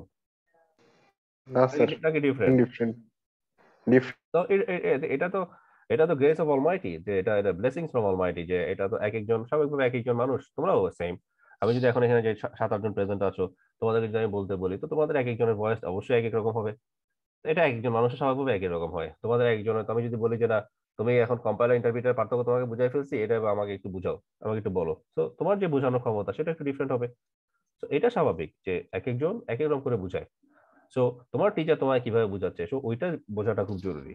এবং সেটা কখনোই তুমি যদি ক্লাস না করো, সেটা কিন্তু তুমি তো কখনোই সেটা বুঝতে পারবে না। ওকে আবার রেকর্ডিং শুনলেও তুমি সেটা পুরোপুরি ভাবে তোমার ওই যে অভাবটা পূরণ হবে না। কারণ রেকর্ডিং তুমি টিচার কিছু জিজ্ঞেস করতে পারছ না। রেকর্ডিং তো শুনছো টিচার কীভাবে বুঝাচ্ছে, কীভাবে কথা বলছে, সবকিছু তুমি রেকর্ডিং এ বুঝতে পার দেখে, শুনতে পাচ্ছ কিন্তু। কিন্তু রেকর্ডিং এ তুমি কখনোই একটা আমি আমি যে পড়াচ্ছি যে এটা পাঁচ নাম্বার এটা পড়াইলাম memory requirement is more memory requirement is less ইত্যাদি ইত্যাদি পড়াই যাচ্ছি। এখন তুমি যেহেতু লাইভ একটা ক্লাসে আছো ভার্চুয়ালি সো তুমি সাথে সাথে টিচার জিজ্ঞেস করতে পারো, স্যার, এটা মানে তো বুঝি নাই, এটা তো জীবনে শুনি নাই। তাই না? তো এটা, এই সুযোগটা, এই এই চান্সটা কিন্তু তুমি পাচ্ছ, কিন্তু রেকর্ডিং কিন্তু এই চান্সটা নাই। তুমি কিন্তু যখনই ক্লাস শেষ হয়ে যাচ্ছে, ওই সুযোগটা শেষ। যারা ক্লাস করে নাই তারা ওই সুযোগটা হারাচ্ছে। ওকে সো সেই জন্য এটা খুব বেশি জরুরি এবং অবশ্যই মেসেজটা যেটা আমি ক্লাস শুরু করার প্রথমে তোমাদেরকে বলছি, এই মেসেজটা সবাইকে দিবা যাতে যাতে ক্লাস অবশ্যই রেগুলার থাকে অ্যাটেন্টিভ থাকে এবং ক্লাস চলাকালীন সময়ও যাতে অ্যাটেন্টিভ থাকে। যা যখন আমি কোনো কিছু জিজ্ঞেস করব বা আমি আমি যখন কোনো কিছু আমি যখন কোনো প্রশ্ন করব বা ইয়েস নো আমি যখন জিজ্ঞেস করব যেটা বুঝছ কিনা? ইয়েস বুঝি নাই। নো ইত্যাদি, এই টাইপের আমাকে রেসপন্স করবা। তোমাদের রেসপন্সটা খুব জরুরি এবং তোমাদের রেসপন্স যখন থাকবে, আমি কোর্সটা খুব দ্রুত মুভ করতে পারব। সামনে মুভ করতে পারব ফার্স্ট আমরা সামনের দিকে আগাতে পারব এবং আলটিমেটলি আমরা ফার্স্ট কোর্সটা কমপ্লিট করতে পারব। সো ডিয়ার স্টুডেন্টস এটা আমরা বুঝলাম, তিন নাম্বার। তারপর হচ্ছে conditional control statement are execute executed এটা অবশ্যই এক্সিকিউটেড হবে। Conditional control statement are executed fast faster conditional control statement are executed slower memory requirement is more এটার মেমোরি রিকোয়ারমেন্ট অনেক বেশি লাগে, কারণ এটা পুরো প্রোগ্রামটা একসাথে সেভ সেভ করে। সেজন্য এটা মেমোরি রিকোয়ারমেন্ট ইজ মোর আর আরেকটা কথা হচ্ছে, এটাতে ইন্টারমিডিয়েট কোড জেনারেট হয়। সেজন্য এটা মেমোরি রিকোয়ারমেন্ট মোর আর এটা মেমোরি রিকোয়ারমেন্ট ইজ লেস ছয় নম্বর হচ্ছে program need not to be compiled every time ওই যে এটা যে কথা এখানে প্রথমে বলছে, যেহেতু পুরো পুরো প্রোগ্রামটা একসাথে কনসিডারেশনে ও তো প্রতিটা প্রতিটা মুহূর্তে প্রোগ্রাম কম্পাইল করার দরকার নাই। তাই না? আর ইন্টারমিডিয়েট কি হয়? প্রতিটা প্রতিটা মুহূর্তেই এটাকে কনভার্ট করার দরকার হয়। সাত নম্বর যেটা বলছে errors are displayed after entire program is check এটা এটা ইজি সেম যেহেতু এন্টায়ার প্রোগ্রামটা কনসিডারেশন নিচ্ছে, তাহলে এররটা এররগুলো শো করবে কখন? যখন পুরো প্রোগ্রামটা চেক করা, পুরো প্রোগ্রামটা রান করা হয়ে যাবে এক্সিকিউট হবে। Errors are displayed for every instruction interpreted অর্থাৎ প্রতিটি ইনস্ট্রাকশন যে সিঙ্গেল ইনস্ট্রাকশন যে কনসিডারেশন নিচ্ছে, একটা ইনস্ট্রাকশন একটা স্টেটমেন্ট এরপরে সে তার এররটাকে শো করবে। আট নম্বর হচ্ছে continuous translating the program until the first error is made অর্থাৎ প্রথম এররটা মেট না হওয়া মানে প্রথম এররটা না পাওয়া পর্যন্ত সে কিন্তু প্রোগ্রাম ট্রান্সলেট করতে থাকবে। In which case it stops অর্থাৎ যখনই একটা এরর সে পাবে, তখন সে ট্রান্সলেট করাটা স্টপ করবে। আর যদিও এটাতে ডিবাগিং প্রসেসটা ইজি আর এই সেম কাজটা ও করতে থাকে, কিন্তু ও যেটা করে it generates the error message only after scanning the whole program অর্থাৎ ও যে কাজটা করে যে ওর মেসেজটাকে ও জেনারেট করে এররটাকে জেনারেট করে after scanning the whole program পুরো প্রোগ্রামটা স্ক্যান করার পরে। আর এক্ষেত্রে ডিবাগিংটা একটু রিলেটিভলি হার্ড বা ডিফিকাল্ট আর নয় নম্বরটা হচ্ছে এটা যে এটা যে ইউজুয়ালি কম্পাইলার যে প্রোগ্রাম ল্যাঙ্গুয়েজগুলো কম্পাইলার ইউজ করে, সেগুলো হচ্ছে সি এবং সি প্লাস প্লাস আর যে প্রোগ্রাম ল্যাঙ্গুয়েজ ইন্টারমিডিয়েট ইউজ করে, সেটা হচ্ছে পাইথন রুবি ইত্যাদি। ওদের জন্য পাইথন রুবি এদের জন্য কোনো টার্গেট প্রোগ্রাম জেনারেট করার দরকার হয় না। অর্থাৎ যেখানে তুমি যেখানে তুমি কোড করো, সেখানে এটা আউটপুটটা বের করে। তো এই জন্য এদেরকে এরা ইউজুয়ালি ইন্টারপ্রিটার ইউজ করে। তো এটা হচ্ছে কম্পাইলার এবং ইন্টারপ্রিটারের পার্থক্য। এখানে একটা, আমার ধারণা মতে একটা অনলি একটা বা দুইটা আমরা যেটা আগে পড়ে ফেলছি। যেমন এখানে কিন্তু ফিগারগুলো নাই ডায়াগ্রাম নাই। কম্পাইলার ডায়াগ্রামটা কি হবে? ইন্টারপ্রিটার ডায়াগ্রামটা কি হবে? এটা কিন্তু এখানে নাই। ওকে তারপরে ওখানে আরেকটা কথা বলছে যে কম্পাইলারের কম্পাইলারের মাঝ কম্পাইলারের যে তোমার যে কম্পাইলারের যে কাজগুলা বা টোটাল কাজটা করতে গিয়ে কম্পাইলার কিন্তু একটু সময় বেশি নেয়, কিন্তু ইন্টারপ্রিটার সময়টা একটু কম লাগে, তাই না? সরি কম্পাইলারটা কম্পাইলারের যে এই হ্যাঁ সেটাই। কম্পাইলার যেহেতু সরাসরি একটা ইনপুট টার্গেট প্রোগ্রাম আউটপুট করে ফেলে সো ইন দ্যাট সেন্স এটার সময়টা কম লাগে। কিন্তু ইন্টারপ্রিটারে কি হয়? ইন্টারপ্রিটারে একটা ইন্টারপ্রিটারে একটা সোর্স প্রোগ্রাম এবং ইনপুট থেকে তারপরে গিয়ে আউটপুটটা বের করে, এই যে। সোর্স প্রোগ্রাম ইনপুট থেকে তারপরে গিয়ে আউটপুটটা বের করে। কিন্তু কম্পাইলার কম্পাইলার কি করে? ইনপুট থেকে সরাসরি আউটপুটটা বের করে তাই না? সো ইন দ্যাট সেন্স কম্পাইলারটা মোর ফাস্টার দেন ইন্টারপ্রিটার যদিও এখানে ডিবাগিং এর কথাটা বলছে ডিবাগিং ইজ ইজি. আর ডিবাগ আর ওইটা ওইটার ক্ষেত্রে ডিবাগিংটা ডিফিকাল্ট তাই না. তো আমরা আশা করি এখান থেকে সবগুলোই আমরা দেখছি এবং বুঝতে পারছি। হ্যাঁ বলো শুনতে পাচ্ছি। শুনতে পাচ্ছেন? স্যার হচ্ছে যে এই যে ডিবাগিং এর যে বিষয়টা আসছে। এই যে কম্পাইলারে যে ডিবাগিংটা ইজি বলতেছে আর ওখানে ডিবাগিংটা ফাস্ট হচ্ছে। ইন্টারপ্রিটারে ইন্টারপ্রিটারে যেহেতু লাইন বাই লাইন কোড আমার যদি যেই লাইনে আমার এরর দেখা দেখাবে ওই লাইনে যেহেতু মানে যেই লাইন এরর হবে ওই লাইনটাই এরর যখন দেখাবে তখন কি ডিবাগিং তার ইজি হয়ে গেল না? লিখার সময় তো কোডটা ক্লিন হয়ে যাচ্ছে যে আমার এরর হলে সাথে সাথে দেখাই দিচ্ছে। হ্যাঁ ওইটা ওইটা তো ওইটা তো তুমি যখন একটা প্রোগ্রাম একটা যখন কোড লিখে ফেলছো ও তখন তোমাকে দেখাচ্ছে তাই না? তুমি ও যে ও যে সিঙ্গেল ইনস্ট্রাকশন বা সিঙ্গেল স্টেটমেন্ট ও যে জেনারেট করছে বা সিঙ্গেল স্টেটমেন্ট ও যে ডিবাগ করছে ওইটা কিন্তু তুমি মাঝখানে বুঝতেছো না। ওকে ওর জন্য এটা এই জিনিসটা একটু টাফ ইন্টারপ্রিটারের জন্য এই জিনিসটা টাফ কিন্তু এটা তোমার তোমার এন্ডে গিয়ে হয়তো তুমি কোড কোডটা যখন রান করে ফেলছো এক্সিকিউট করছ তখন তুমি হয়তো এররগুলো কোনো যদি এরর থাকে লাইনের মধ্যে বিশেষ করে পাইথনে তখন তুমি সেটা দেখতে পাচ্ছ। কিন্তু আদারওয়াইজ কিন্তু তোমার জন্য তোমার ব্যাপারটা আসলে তুমি তুমি তোমার জন্য বোঝাটা একটু টাফ বাট ইন্টারপ্রিটার ইটসেলফ ওর জন্য ডিবাগিং এটা একটু একটু কম্পারেটিভলি হার্ড আমরা জেনারেলি কি করি আমরা জাভা স্ক্রিপ্টের পরিবর্তে টাইপ স্ক্রিপ্ট ব্যবহার করি যেহেতু type script interpreted interpreter language এটার কারণ হচ্ছে যে আমরা যাতে মানে বিশেষ করে টাইপের এররগুলা যাতে আমরা লিখার কোড লিখার সময় ধরে ফেলতে পারি। সেজন্য আমি ভাবলাম এটার হচ্ছে যে ডিবাগিংটা ইজি হবে, সেটা ভাবছিলাম আমি। হ্যাঁ তোমার এন্ডে তোমার এন্ডে তুমি এই জিনিসটাকে ইজি যেমন এখন অনেকে তোমরা খেয়াল করবা যে এখন তোমার এই কাজগুলো করার জন্য ক্ষেত্রেও আহ, বা প্রোগ্রামিং এর ক্ষেত্রে বা যে কোনো একটা প্রজেক্ট যে কোনো তোমাদের যে তোমাদের ধরো থার্ড ইয়ার ফোর্থ ইয়ার যে প্রজেক্ট থাকে অনেকে কিন্তু পাইথনে এই কাজগুলো করতেছে। অনেকে এখন জাভাতেও করতেছে না। বা আগে যেটা পিএইচপি তে করতো বা এএসপি ডট নেটে করতো এখন কিন্তু পাইথন দিয়ে এই কাজগুলো তারা করার চেষ্টা করছে বা করছে। কারণ এটা এটার মেইন কারণ হচ্ছে যে পাইথনের যে তোমার যে পাইথনের যে ইউজ ইউজেবিলিটি এবং পাইথনের যে ইন্টারেক্টিভ ইন্টারেক্টিভ কি বলা যায়? Easier interaction with the user that's why কিন্তু এই কাজটা তোমরা পাইথন দিয়ে বা অনেক ক্ষেত্রে পাইথনের পাইথনের ইউজেবিলিটিটা পাইথনের ইউটিলিটিটা বেড়ে গেছে। ওকে তো এটা হচ্ছে এটা বোঝানোর অর্থ হচ্ছে যে এটা ওই যে যেটা বললাম ইন্টারভিউ ইটসেলফ ওর জন্য হচ্ছে ডিভাইংটা কম্পারেটিভলি হার্ড কিন্তু তোমার এন্ডে কিন্তু তোমার আচ্ছা। কাছে মনে হচ্ছে যে না দিস ইজি আচ্ছা ওর জন্য। জি স্যার বুঝতে পারছি। ইজ ক্লিয়ার তোমার এন্ডে তুমি মনে করছ না দিস ইজি তো দ্যাটস ওয়াই ও তোমার এন্ডে তুমি যখন মনে করছ যেটা দিস ইজি তখন কিন্তু তুমি ওই যে সি প্লাস প্লাস বা জাভা বা ইত্যাদি ইউজ না করো তুমি কিন্তু পাইথন ইউজ করছ বা রুবি ইউজ করছ। ঠিক আছে? তো। ইন দ্যাট সেন্স এই এই জিনিসগুলো আমরা আমাদের পার্থক্যের মধ্যে এগুলো আমরা পড়ব। তো আরেকটা জিনিস হচ্ছে যেটা তোমাদেরকে আমি আমি লাস্টে একটু আমি ওই ওইটাই বলতে চাচ্ছিলাম যে এখানে তোমরা কম্পাইলারের ফিগার এবং ইন্টারভিউটার ফিগারটাও পার্থক্য হিসেবে এখানে তোমরা আনতে পারো। তো এটা মেইনলি আমি বলতে চাইছি ইন্টারপ্রিটার এবং কম্পাইলারের পার্থক্য। ওকে আমরা এবার আমাদের এই যে আমাদের এই চ্যাপ্টারের আরেকটা মূল অংশের মধ্যে আমরা চলে আসি এটাকে বলা যায় স্ট্রাকচার অফ এ কম্পাইলার তো এইটার জন্য তোমাদের একটু সবার হাত, সবার হাতের কাছে খাতা এবং কলম থাকবে। সবাই খাতা এবং কলম রেডি করে রাখো। তো স্ট্রাকচার অফ এ কম্পাইলারের মধ্যে প্রথমে আমরা একটু আমরা একটু স্ট্রাকচার অফ এ কম্পাইলার একটু দেখে ফেলি এবং এটা একটু আমি ছোট করি। এবং এটাকে এটাকে আমরা as a as a figure এটাকে বলে phases of a compiler phases of a compiler তো কম্পাইলার যে ফেজগুলো আছে, সেগুলোকে বলা হচ্ছে local lexical analyzer syntax analyzer semantic analyzer intermediate code generator machine independent code optimizer code generation machine dependent code optimizer একটা হচ্ছে মেশিন ইন্ডিপেন্ডেন্ট কোড অপটিমাইজার আর একটা হচ্ছে machine dependent code optimizer ultimately target machine code অর্থাৎ target machine কোডটা code generator থেকে আসতে পারে মেশিন ডিপেন্ডেন্ট কোড অপটিমাইজার থেকেও টার্গেট কোডটা বা টার্গেট মেশিন কোডটা আসতে পারে। আর এরপরে যে যে এরপরে যে অংশগুলো, অর্থাৎ মাঝখানে অর্থাৎ একটা ক্যারেক্টার স্ট্রিম থাকবে, সেখান থেকে টোকেন স্ট্রিম আসবে, তারপরে সিনট্যাক্স ট্রি আসবে তারপরে সিনট্যাক্স ট্রিটা সিনট্যাক্স অ্যানালাইজারের পরে আসতে পারে সিমেন্টিক অ্যানালাইজারের পরে আসতে পারে তার ইন্টারমিডিয়েট কোড জেনারেটরের পরে ইন্টারমিডিয়েট রিপ্রেজেন্টেশন হবে, একইভাবে ইন্টারমিডিয়েট কোড জেনারেটরের পরেও ইন্টারমিডিয়েট রিপ্রেজেন্টেশন হতে পারে মেশিন ইন্ডিপেন্ডেন্ট কোড অপটিমাইজারের পরেও ইন্টারমিডিয়েট রিপ্রেজেন্টেশন হতে পারে। যেরকম যে কথা একটু আগে বললাম, যে কোড জেনারেটরের পরে যেরকম টার্গেট মেশিন কোড আসতে পারে, আবার মেশিন ডিপেন্ডেন্ট কোড অপটিমাইজারের পরেও টার্গেট মেশিন কোড আসতে পারে। তো এভাবে আমরা আমরা এখান থেকে একটা, আমরা একটা এক্সাম্পলের মাধ্যমে, এটা আরও ভালো করে আমরা বুঝতে পারি, আমরা একটা এক্সাম্পলটা দেখি। ওকে তো প্রথমে আমাদের যে ফার্স্ট যে ফেজটা সেটা হচ্ছে লেক্সিক্যাল অ্যানালাইসিস লেক্সিক্যাল অ্যানালাইসিস বা এটা এখানে একটা যে টার্মটা আমরা আমরা পরিচিত হব, সেটা হচ্ছে লেক্সিম যে টার্মটার সাথে আমরা পরিচিত হব, সেটা হচ্ছে লেক্সিম আমরা একটু দেখি। The first phase of a compiler is called the lexical analysis or scanning lexical অ্যানালাইসিসের আরেকটা নাম হচ্ছে স্ক্যানিং এটা মনে রাখবে।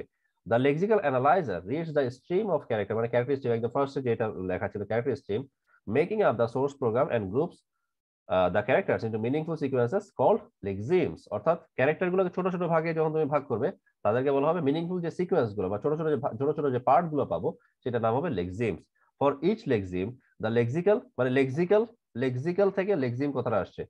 The lexical analyzer produces as output a token of the form অর্থাৎ এই যে একটা একটা যে আকার দেখতে পাচ্ছ, একটা যে একটা যে ফর্ম দেখতে পাচ্ছ, এই ফর্মে আউটপুটটা সে শো করে। সেখানে কি থাকবে? একটা টোকেন নেম থাকবে আর অ্যাট্রিবিউট ভ্যালু থাকবে। ফর এক্সাম্পল আমি মাঝখানে লেখাগুলো আর বলছি না। For example suppose a source program contains the assignment statement মনে করো এই ধরনের একটা লাইন বা এই ধরনের একটা এক্সিকিউশন লাইন বা এই ধরনের একটা সূত্র তোমার প্রোগ্রামে দেয়া আছে। এরকম একটা সূত্র আছে যে position equal to initial plus rate into sixty এটা হচ্ছে আমাদের মেইন এক্সাম্পল ওকে তো এরকম একটা প্রসেসিং লাইন বা এরকম একটা ইকুয়েশন যখন তোমার প্রোগ্রামের মধ্যে থাকবে, তখন আমাদের কাজটা কি হবে? প্রথম তাহলে আমরা কি করব? The characters in this assignment could be grouped into the following lexemes কীভাবে? এই ক্যারেক্টার এই যে এই যে যে টার্মগুলো এখানে দেখতে পাচ্ছ পজিশন ইনিশিয়াল ও, এখানে আরেকটা জিনিস আছে পজিশন ইনিশিয়াল রেট সিক্সটি এগুলোর বাইরেও একটা ইনটু আছে, একটা প্লাস আছে, একটা ইকুয়াল সাইন আছে। এগুলোও কিন্তু আমাদেরকে কনসিডারেশনে আনতে হবে। এগুলো ছাড়া তো এই অপারেশনটা অচল। এখানে যে তুমি একটা অপারেশন করতেছো, তো অপারেশনের মধ্যে প্লাস অপারেশন আছে মানে এডিশন অপারেশন আছে মাল্টিপ্লিকেশন অপারেশন আছে, এবং দ্যাটস একটা left hand side left hand side right hand side আছে, যেটা তুমি একটা ইকুয়াল টু দিয়ে দুইটাকে সেপারেট করছ। তো এইগুলো আলাদা আলাদা করে আমরা এই লেক্সিমগুলো আলাদা আলাদা করে দেখব। তাহলে একটা একটা করে দেখে ফেলি। প্রথমে নাম্বার ওয়ান আমি পুরা পুরা সাতটা লেক্সিম একসাথে তোমাদেরকে আমি বলব। তাহলে নাম্বার ওয়ান প্রথমে number one K position position is a lexeme that যেমন প্রতিটাই একটা একটা লেক্সিম প্রতিটা প্রতিটা টার্ম বলার সময় এই কথাটা বলা যে this one is a lexeme this one is a lexeme this one is a lexeme এভাবে। তো তোমরা আলটিমেটলি দেখতে পাবে position is a lexeme that would be mapped into a token like ID one মানে পজিশনটাকে আমি নাম দিলাম কি? আইডি ওয়ান মানে এটা একটা ওই যে আমাদের গ্রেটার দেন স্মলার দেন সাইনের মতো মাঝখানে থাকবে ID one where ID is an abstract symbol standing for identifier মানে আইডেন্টিফায়ার এর জায়গায় যেটা তোমরা তোমরা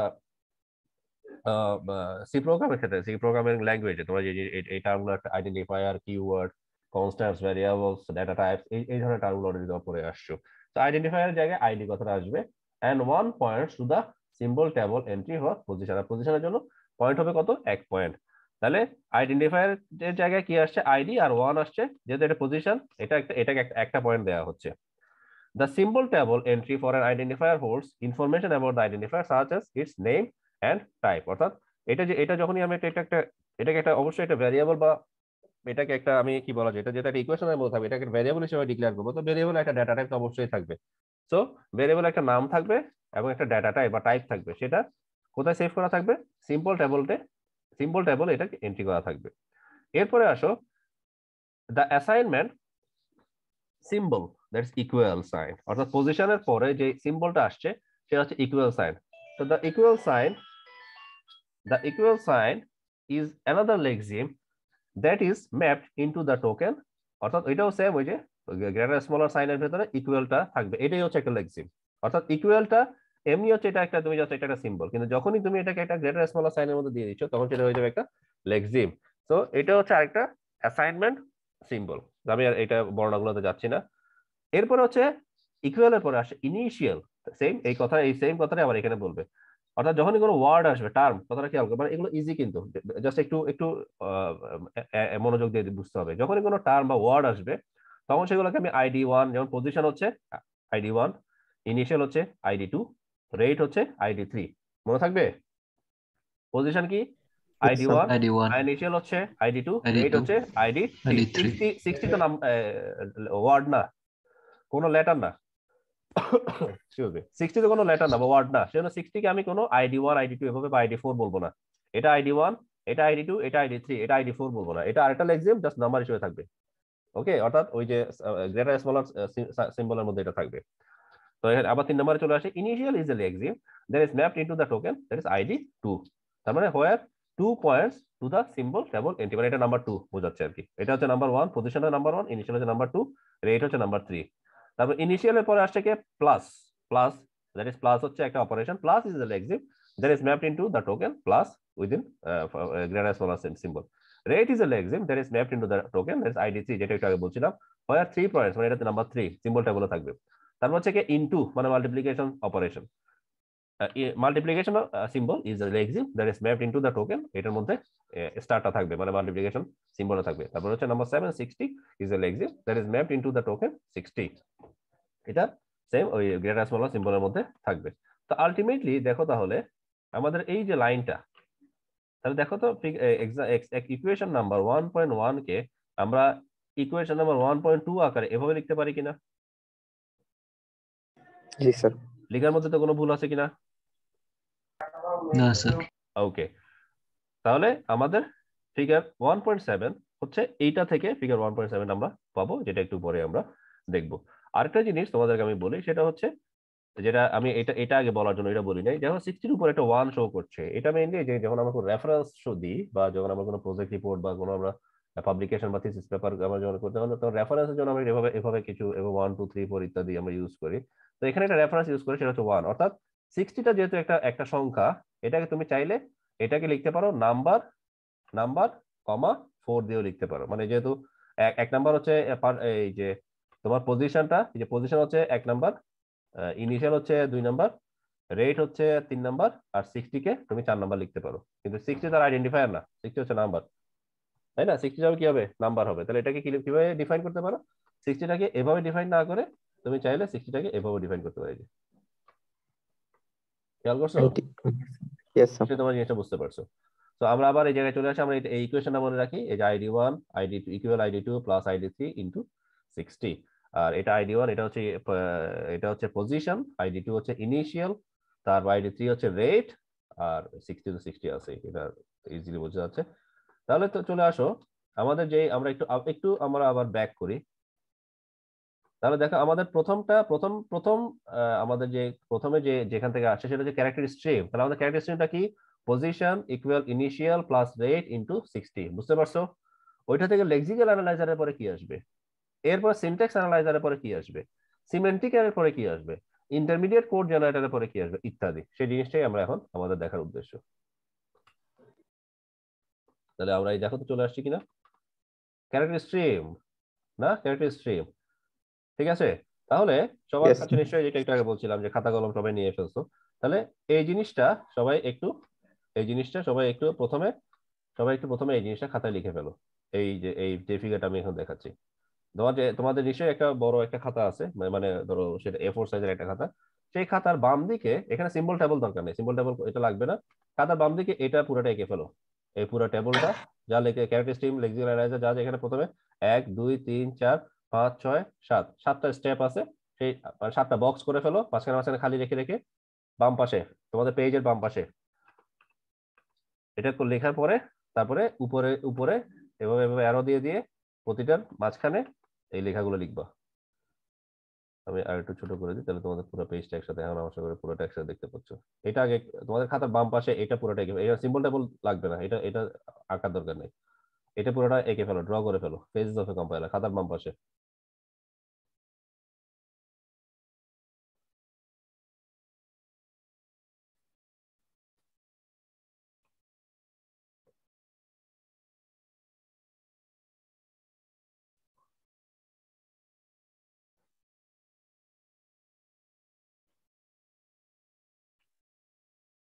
স্যার লিখছি। সবাই লিখে নেয় মনে হয়। না স্যার পুরোটা? পুরোটা পুরোটা ড্র করবে। এখানে সাতটা সাতটা মাঝ- সাতটা ফেজ আছে। সাতটা ফেজ আছে। আর এখানে যে যে এই যে এখানে যে স্টেপসগুলো আছে অ্যারো দিয়ে দিয়ে স্টেপসগুলো আছে। প্রতিটা ফেজ থেকে আমি কোথায় যাব সেটা বলা আছে।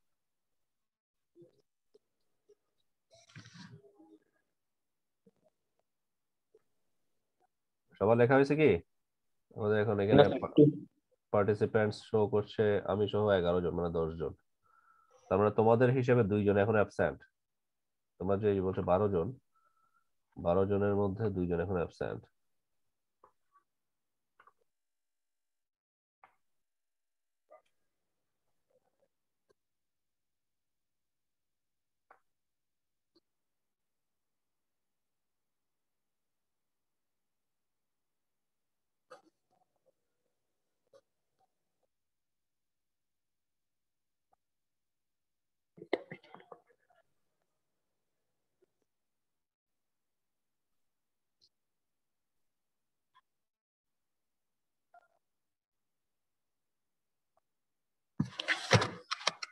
আমি কি মুভ করব?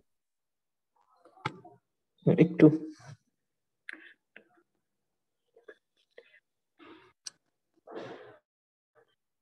স্যার এটাই একটা হ্যাঁ বুঝি নাই। আহ, নয় মুস্তাফা শুরু হবে আমি বুঝি নাই আবার বলো। স্যার কে মুস্তাফা শুরু হবে? আমি এখনও বুঝিনি কথা মনে কেটে গেছে মাঝখানে। স্যার আমাদের আরেকটা ক্লাস আছে।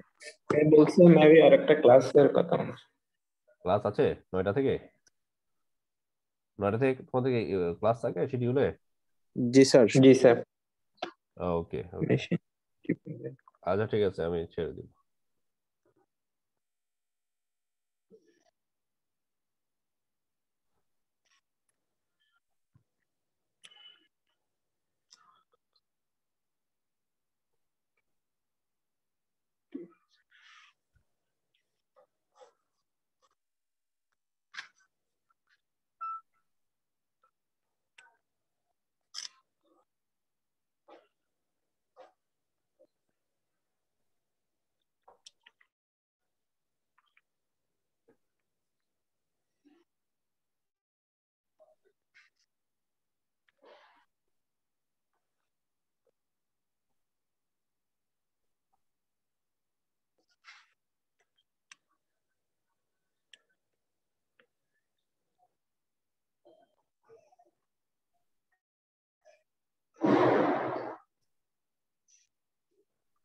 ওকে আমার আমার মনে হয় আমি এখন মুভ করতে পারি তাই না? ইয়েস ইয়েস স্যার ওকে এবার তোমাদের খাতার ডান পাশে চলে আসো। তোমাদের খাতার ডান পাশে চলে আসো। আর সিম্বল টেবিলটা আমি ওই জন্য স্কিপ করতে বলছি যেটা তোমরা বুঝতে পারছ যে সিম্বল টেবিলের মধ্যে এক নাম্বার পজিশন এক নাম্বার হচ্ছে পজিশন দুই নাম্বার হচ্ছে ইনিশিয়াল তিন নাম্বার হচ্ছে রেট চার নাম্বার হচ্ছে যে সিক্সটি যেটা নাম্বার হিসেবে আছে এটা না দিলেও চলবে। তাহলে প্রথমে দেখো আমাদের যেটা আমাদের যেটা তোমার আহ, আমাদের যেটা ক্যারেক্টার স্ট্রিম ছিল স্ট্রিম অফ দ্য ক্যারেক্টার সেটা এখানে লিখলাম। তারপর লেক্সিক্যাল অ্যানালাইজার সেটাকে আমি নিয়ে আসছি। লেক্সিক্যাল অ্যানালাইজার যে কাজটা করছে মানে এই যে ফেজের মধ্যে আনছি, প্রতিটাই, প্রতিটি আলাদা আলাদা করে কাজ করবে। লেক্সিক্যাল অ্যানালাইজার বা স্ক্যানিং এটার একটা নাম কি? স্ক্যানিং এখানে যে কাজটা করবে, সেখানে সেটাকে আলাদা আলাদা নাম দেওয়া হলো আলাদা আলাদা আলাদা লেক্সিমে ভাগ করা হলো তাই না? এটাকে, এটা এটা কোন কোন স্টেপের আকারে আছে লেক্সিক্যাল অ্যানালাইজারের পরে? মনে আছে কি? Token stream yes sir token stream okay অর্থাৎ তুমি আলাদা আলাদা লেক্সিম আকারে অর্থাৎ এদিকে আলাদা আলাদা টোকেন স্ট্রিম আকারে তুমি এদেরকে কনভার্ট করছ। এবারের পরে এদেরকে ফেলবা কোথায়? এদেরকে নিয়ে আসবা কোথায়? সিনট্যাক্স অ্যানালাইজারে সিনট্যাক্স অ্যানালাইজার একটা হচ্ছে পার্সার মানে পার্সিং এর মাধ্যমে। পার্স আমরা এখানে পার্স ট্রি জেনারেট করি। এটা আমরা পরবর্তী পার্স ট্রি নিয়ে আমাদের আলাদা চ্যাপ্টার আছে। এটা আমরা পরে দেখব। তাহলে দেখো. তাহলে ইকুয়াল টু ইকুয়াল এই যে সিম্বলটা এটা দিয়ে দুইটা ভাগ হয়েছে না? একটা লেফট হ্যান্ড সাইড আর একটা এই যে রাইট হ্যান্ড সাইড তাই না? দেখো ইকুয়াল সিম্বল দিয়ে এই লেফট হ্যান্ড সাইড সরি এই লেফট হ্যান্ড সাইড আর রাইট হ্যান্ড সাইড পুরোটা আলাদা করে আছে তাই না? ইকুয়াল সিম্বল দিয়ে লেফট হ্যান্ড সাইডটাকে আলাদা করা হয়েছে রাইট হ্যান্ড সাইডটাকে আলাদা করা হয়েছে। আবার রাইট যেহেতু লেফট হ্যান্ড সাইডে একটা একটা মাত্র টার্ম সেজন্য লেফট হ্যান্ড সাইডে আর কোনো ব্রাঞ্চ নাই। কিন্তু রাইট হ্যান্ড সাইডে তো অনেকগুলো আবার অপারেশন আছে সেটা left hand side right hand সাইডে গিয়ে ব্রাঞ্চ করতে হয়েছে। রাইট সাইডে প্রথম ব্রাঞ্চটা কার মাধ্যমে কার? প্রথম ব্রাঞ্চটা হচ্ছে প্লাস প্লাজের সাথে বাকিদের। প্লাজের সাথে প্রথমে আইডি এবং ID three ID three into sixty প্লাজের সাথে প্রথমে কে? ID Yes. টু কে আলাদা করছ তারপর ID two into ID sixty আবার ইন্টু কে তুমি আবার দুই ভাগে ভাগ করছ আই ইন্টু আবার দুইজনের সাথে কানেক্টেড একটা হচ্ছে আইডি থ্রির সাথে আর একটা হচ্ছে সিক্সটির সাথে। তো একটা পার্স ট্রির মাধ্যমে একটা পার্সিং এর মাধ্যমে সিনট্যাক্স অ্যানালাইজারের পরে আমরা সেটা বুঝতে পারলাম। এরপরে সিমেন্টিক অ্যানালাইজারের পরে আমরা যে জিনিসটা বুঝতে পারব সেটা হচ্ছে যে সিমেন্টিক অ্যানালাইজার জাস্ট অলমোস্ট দেখো সবকিছু একই। দেখো সবকিছু একই। শুধু এখানে সিক্সটি কথাটার জায়গায় এটাকে তোমরা বলতে পারো যে ইন্টিজার টু ফ্লোট মানে এটা এখানে ইন্টিজার হইতে পারে অথবা এটা মানে যে কোনো ডেটা টাইপ আর কি এখানে যে কোনো ডেটা টাইপ হইতে পারে সেটাকে এখানে ডিফাইন করছে। তারপরে এটাকে তুমি যখন ইন্টারমিডিয়েট কোড জেনারেটরে তুমি ফেলবা এখানে তোমাকে একটু কাজ করতে হবে। এখানে কি কাজ করতে হবে? ইন্টারমিডিয়েট কোড জেনারেটরে তুমি প্রথমে দেখো এটা তুমি ডান দিক থেকে তোমার কাজটা শুরু হবে। তুমি এখানে প্রথমে টি ওয়ান কে লিখছো কি? ইন্টিজার টু ফ্লোট এই যে এটাকে সংক্ষেপে সংক্ষেপে এটা একসাথে পড়তে গেলে তুমি এটা মিনিংটা নাও বুঝতে পারো। কিন্তু এটা ভেঙে ভেঙে বলো যে I N T integer to float তাহলে প্রথমটা কি? Integer to float integer to float K? Sixty সেটাকে ব্র্যাকেট 60 রাখছে। তারপরে কে? টি টু টি টু কে কোথায় রাখব? টি টু কে টি টু মানে কে? এই যে ID three into integer to float না তার মানে ID three into T one integer to float float কে ছিল? টি ওয়ান তাহলে টি টু হবে ID three into T one তারপর প্লাস কে হবে? ID two plus T two ID two plus এই যে আইডি টুর সাথে প্লাস কাকে? এটা পুরোটা এখন টি টু হয়ে গেল না? এটা পুরোটা হয়ে গেছে টি টু তাহলে ID two plus T two তারপরে আইডি ওয়ান ইকুয়াল টু কি হবে? আইডি ওয়ান ইকুয়াল টু এটা পুরোটা এখন টি থ্রি হয়ে গেছে না? তাহলে আইডি ওয়ান ইকুয়াল টু হবে টি থ্রি দেখো এই জিনিসটা বুঝতে পারছ কিনা? স্যার আরেকটু স্যার। আমি কি আবার বলব নাকি হ্যাঁ। দেখবে? জি স্যার জি স্যার আবার বলেন। আচ্ছা। সিনট্যাক্স অ্যানালাইজার আর সিমেন্টিক অ্যানালাইজারের আউটপুট সেম অলমোস্ট শুধু এখানে 60 এর জায়গায় তুমি এখানে নতুন একটা টার্ম ইউজ করছ integer to float integer to ফ্লোটের নাম দিছো এটাকে এটাকে তুমি এই এই নাম্বারটা ডিফাইন করছ ইন্টিজার টু ফ্লোটের কাছে সেটা হচ্ছে 60 এরপরে আমি ডান দিক থেকে আমার কাউন্টিং শুরু করব যখন আমি ইন্টারমিডিয়েট কোড জেনারেট করব। অর্থাৎ ইন্টারমিডিয়েট কোড কীভাবে জেনারেট করব? এই যে T one T two T three এগুলো হচ্ছে ইন্টারমিডিয়েট কোড কারণ ID one ID two ID three এগুলো তো আগে থেকে ছিল। ইন্টারমিডিয়েট কোড কোনগুলা? T one T two T three এগুলো জেনারেট করব। এবার ডান দিক থেকে আসি। প্রথমে integer to float that is sixty কে প্রথমে টি ওয়ান দিয়ে ডিফাইন করলাম। তাহলে এটা হয়ে গেল টি ওয়ান তাহলে এরপরে ইনটু মানে মাল্টিপ্লিকেশন অপারেশন কার মধ্যে হবে? আইডি থ্রি আর টি ওয়ানের মধ্যে হবে। এটা এখন টি ওয়ান হয়ে গেছে। তাহলে ID three into T one এটা নাম দিলাম আরেকটা ইন্টারমিডিয়েট কোড সেটা হচ্ছে টি টু মানে ID three into T one হয়ে গেছে টি টু আবার এটা পুরোটা হয়ে গেছে এখন টি টু টি টু কার সাথে প্লাস হচ্ছে? আইডি টু এর সাথে প্লাস হচ্ছে। তাহলে ID two plus T two এটার নাম দিলাম আরেকটা ইন্টারমিডিয়েট কোড সেটা হচ্ছে T three ID two plus T two তার মানে এখন এই পুরোটাই পুরো রাইট হ্যান্ড সাইডটাই এখন হয়ে গেছে টি থ্রি তার মানে আইডি ওয়ান ইকুয়াল টু হবে T three ID one equal to হয়ে গেছে T three is it clear আশা করি বুঝতে পারছ। এখন এই সেম জিনিসটাকে আরেকটু সংক্ষেপ করে ফেলছে এখানে দেখো। নাথিং এলস অর্থাৎ টি ওয়ান সমান সমান টি ওয়ান সমান কি লিখছে? ID three into integer to float মানে সিক্সটি এই যে T one is equal to কি? আইডি থ্রি ইন্টু সিক্সটি আর আইডি ওয়ান ইকুয়াল টু হবে ID two plus T one মানে এই পুরো জিনিসটাকে আরেকটু সংক্ষেপ করে ফেলব। এটাকে বলা হচ্ছে মানে এটা তুমি ইন্টারমিডিয়েট কোড জেনারেট করছ এর এটা কোড অপটিমাইজ করছ। অপটিমাইজারের মাধ্যমে এটাকে একটু ছোট করে ফেলছো। আর ফাইনালি আমরা যেটা পেয়ে যাচ্ছি এটা হচ্ছে লাস্ট আমাদের এই ফেজটা কোড অপটিমাইজেশনের বেলায় T one is equal to ID three plus sixty দিছে তো তার মানে এখানে আইডি ওয়ানটা। কই যাবে sir into ID three into sixty sir ID ওয়ানটা কোথায় যাবে?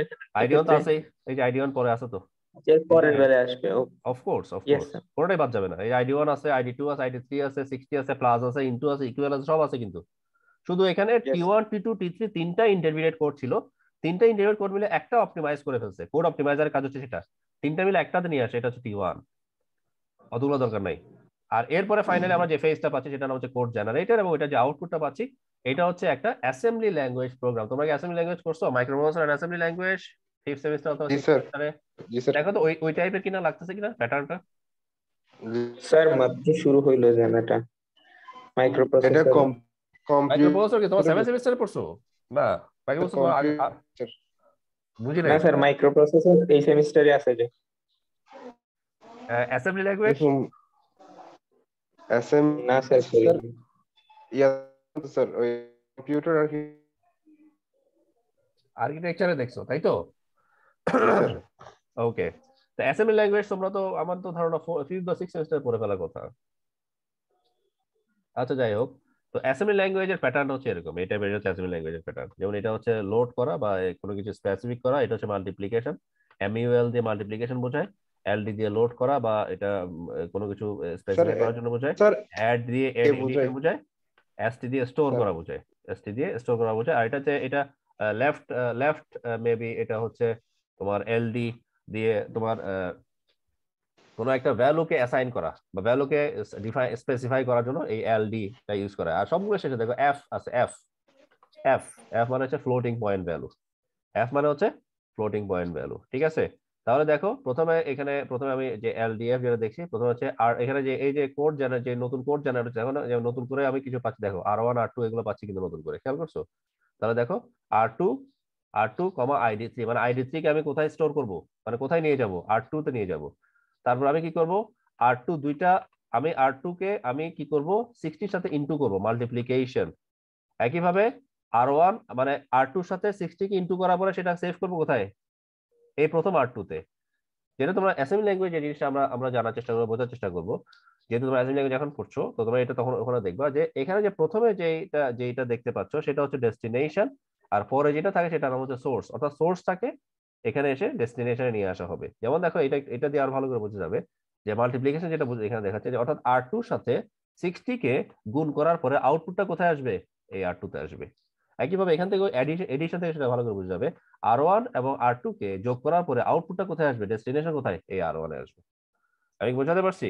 একইভাবে এই আর ওয়ানের ভ্যালুটা এরপর স্টোর করব কোথায়? আইডি ওয়ানে এই যে ফাইনালি যে আইডি ওয়ানে আইডি ওয়ান ইকুয়াল টু পুরোটা হচ্ছে না? এই পুরোটার ভ্যালুটা কোথায় স্টোর করা হবে? আইডি ওয়ানে স্টোর করা হবে।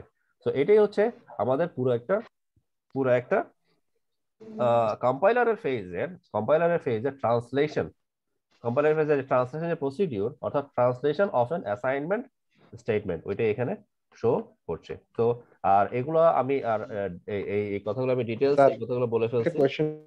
এই কথাগুলো আমি ডিটেলস বলে ফেলছি সিনট্যাক্স অ্যানালাইসিস সিমেন্টিক্স অ্যানালাইসিস এই কথাগুলো আমি ডিটেলস বলে ফেলছি। তো ওগুলা আর আমি আলাদা করে ডিটেলস বলব না। হ্যাঁ বলো।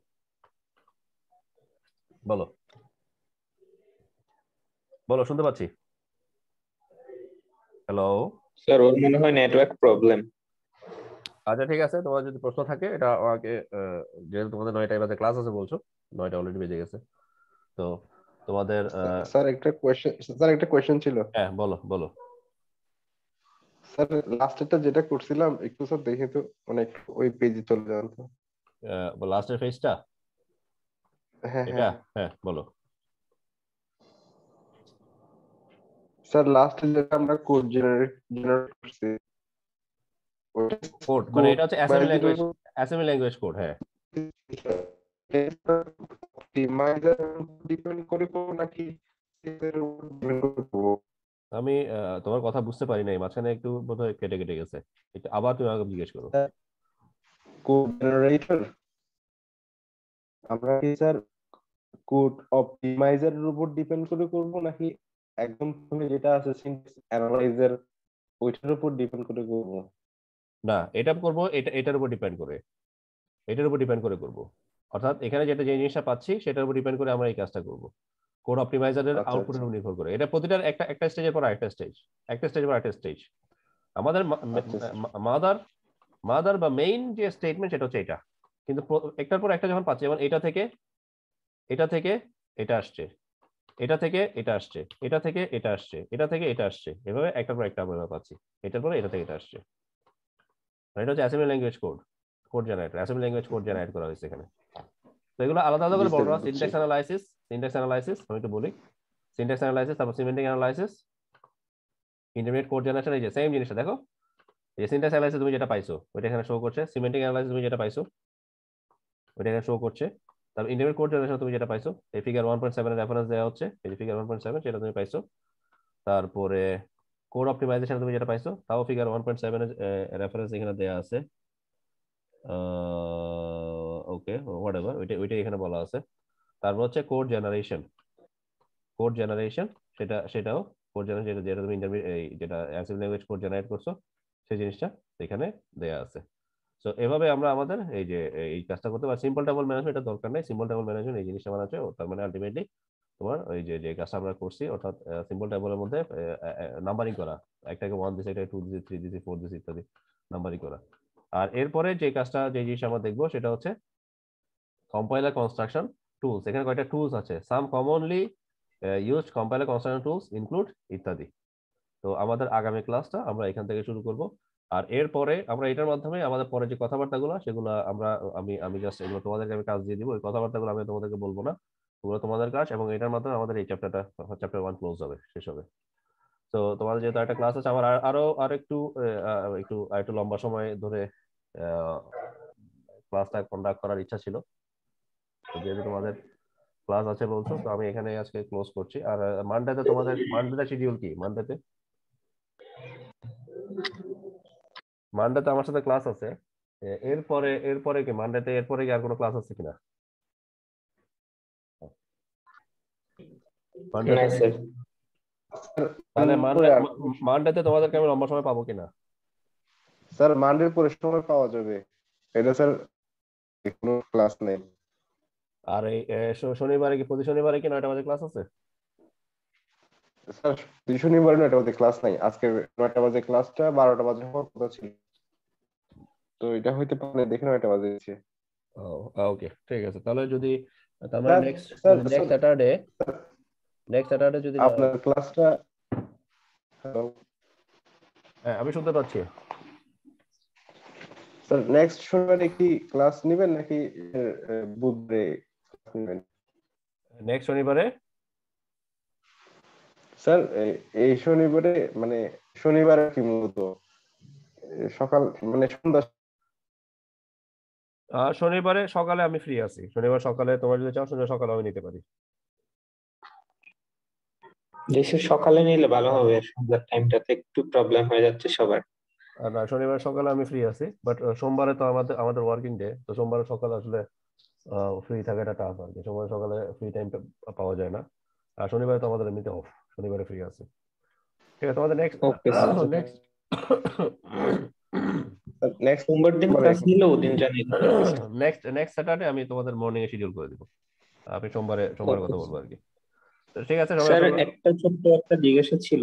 বলো প্লিজ সেটা হচ্ছে স্যার লেক্সিক্যাল অ্যানালাইসিসে অ্যানালাইসিসে কি সিনট্যাকটিক সুগার নামে কোনো টার্মস আছে? সিনট্যাকটিক সুগার এটা তুমি কোথায় পাইছো? এটা স্যার প্রোগ্রামিং এ আমাকে একটা ইন্টারভিউতে জিজ্ঞেস সিনথেসিস করছিল। সিনথেসিস যে টার্ম সিনথেসিসটা এখানে কমন টার্ম সিনথেসিস সিনথেসিস মানে কি? সিনট্যাকটিক সুগার এটা আমার কাছে, এটা আমি শুনছি বলে আমার মনে পড়ছে না। কারণ এখানে কমন একটা টার্ম হচ্ছে সিনথেসিস সিনথেসিস মানে হচ্ছে তোমার, এটা যে কাজটা করে, তোমার কোনো কিছুতে যে যে নির্যাসটা বের করে নিয়ে আসা। অর্থাৎ একটা যে, একটা অনেকগুলো কাজ হবে হবে জাস্ট আমি যে কোর আউটপুটটা বা যে মূল যে কোরটা বা মেইন যে আউটপুটটা সেটা বের করে নিয়ে আসা। এটাকে বলা হয় সিনথেসিস ওকে আচ্ছা। Yes sir is it clear so ওই ধরনের এই এই টার্ম থাকতে পারে। ওই ধরনের টার্ম থাকতে পারে। তো এইটা তবে এটা তোমার তোমার যে তোমার যে কন্টেক্সটটা বা যে কন্টেক্সটে তুমি এটা পাইছো সো। সেই ক্ষেত্রে তুমি হয়তো এটা এটা লেক্সিক্যাল স্কোপ থেকে আসছিল তো? আর লেক্সিক্যাল স্কোপ আর লেক্সিক্যাল অ্যানালাইসিস মনে হইল কাছাকাছি। তো লেক্সিক্যাল আমাকে জিজ্ঞেস করে যে লেক্সিক্যাল স্কোপের সিনট্যাকটিক সুগার বলতে কি বুঝো? মানে এইটা কে জিজ্ঞেস করছ কোথায় পাইছো? এটা ইন্টারভিউতে জিজ্ঞেস থাকতে পারে। এটার উত্তর আমি খোঁজার চেষ্টা করছি। Okay thank you thank you for your question so আমি দেখব এটা। আমি তোমাকে নেক্সট ক্লাসে জানাব। Sir. ওকে ঠিক আছে তাহলে ডিয়ার স্টুডেন্ট সবাই ভালো থাকবে। আর আজকে ক্লাস করার জন্য সবাইকে অসংখ্য ধন্যবাদ। আগামী ক্লাসে আনন্দ থাকল এবং অবশ্যই সবাই রেগুলার অ্যাটেন্টিভ থাকবে। থ্যাংক ইউ সো মাচ আপনাকেও ধন্যবাদ স্যার শুভরাত্রি স্যার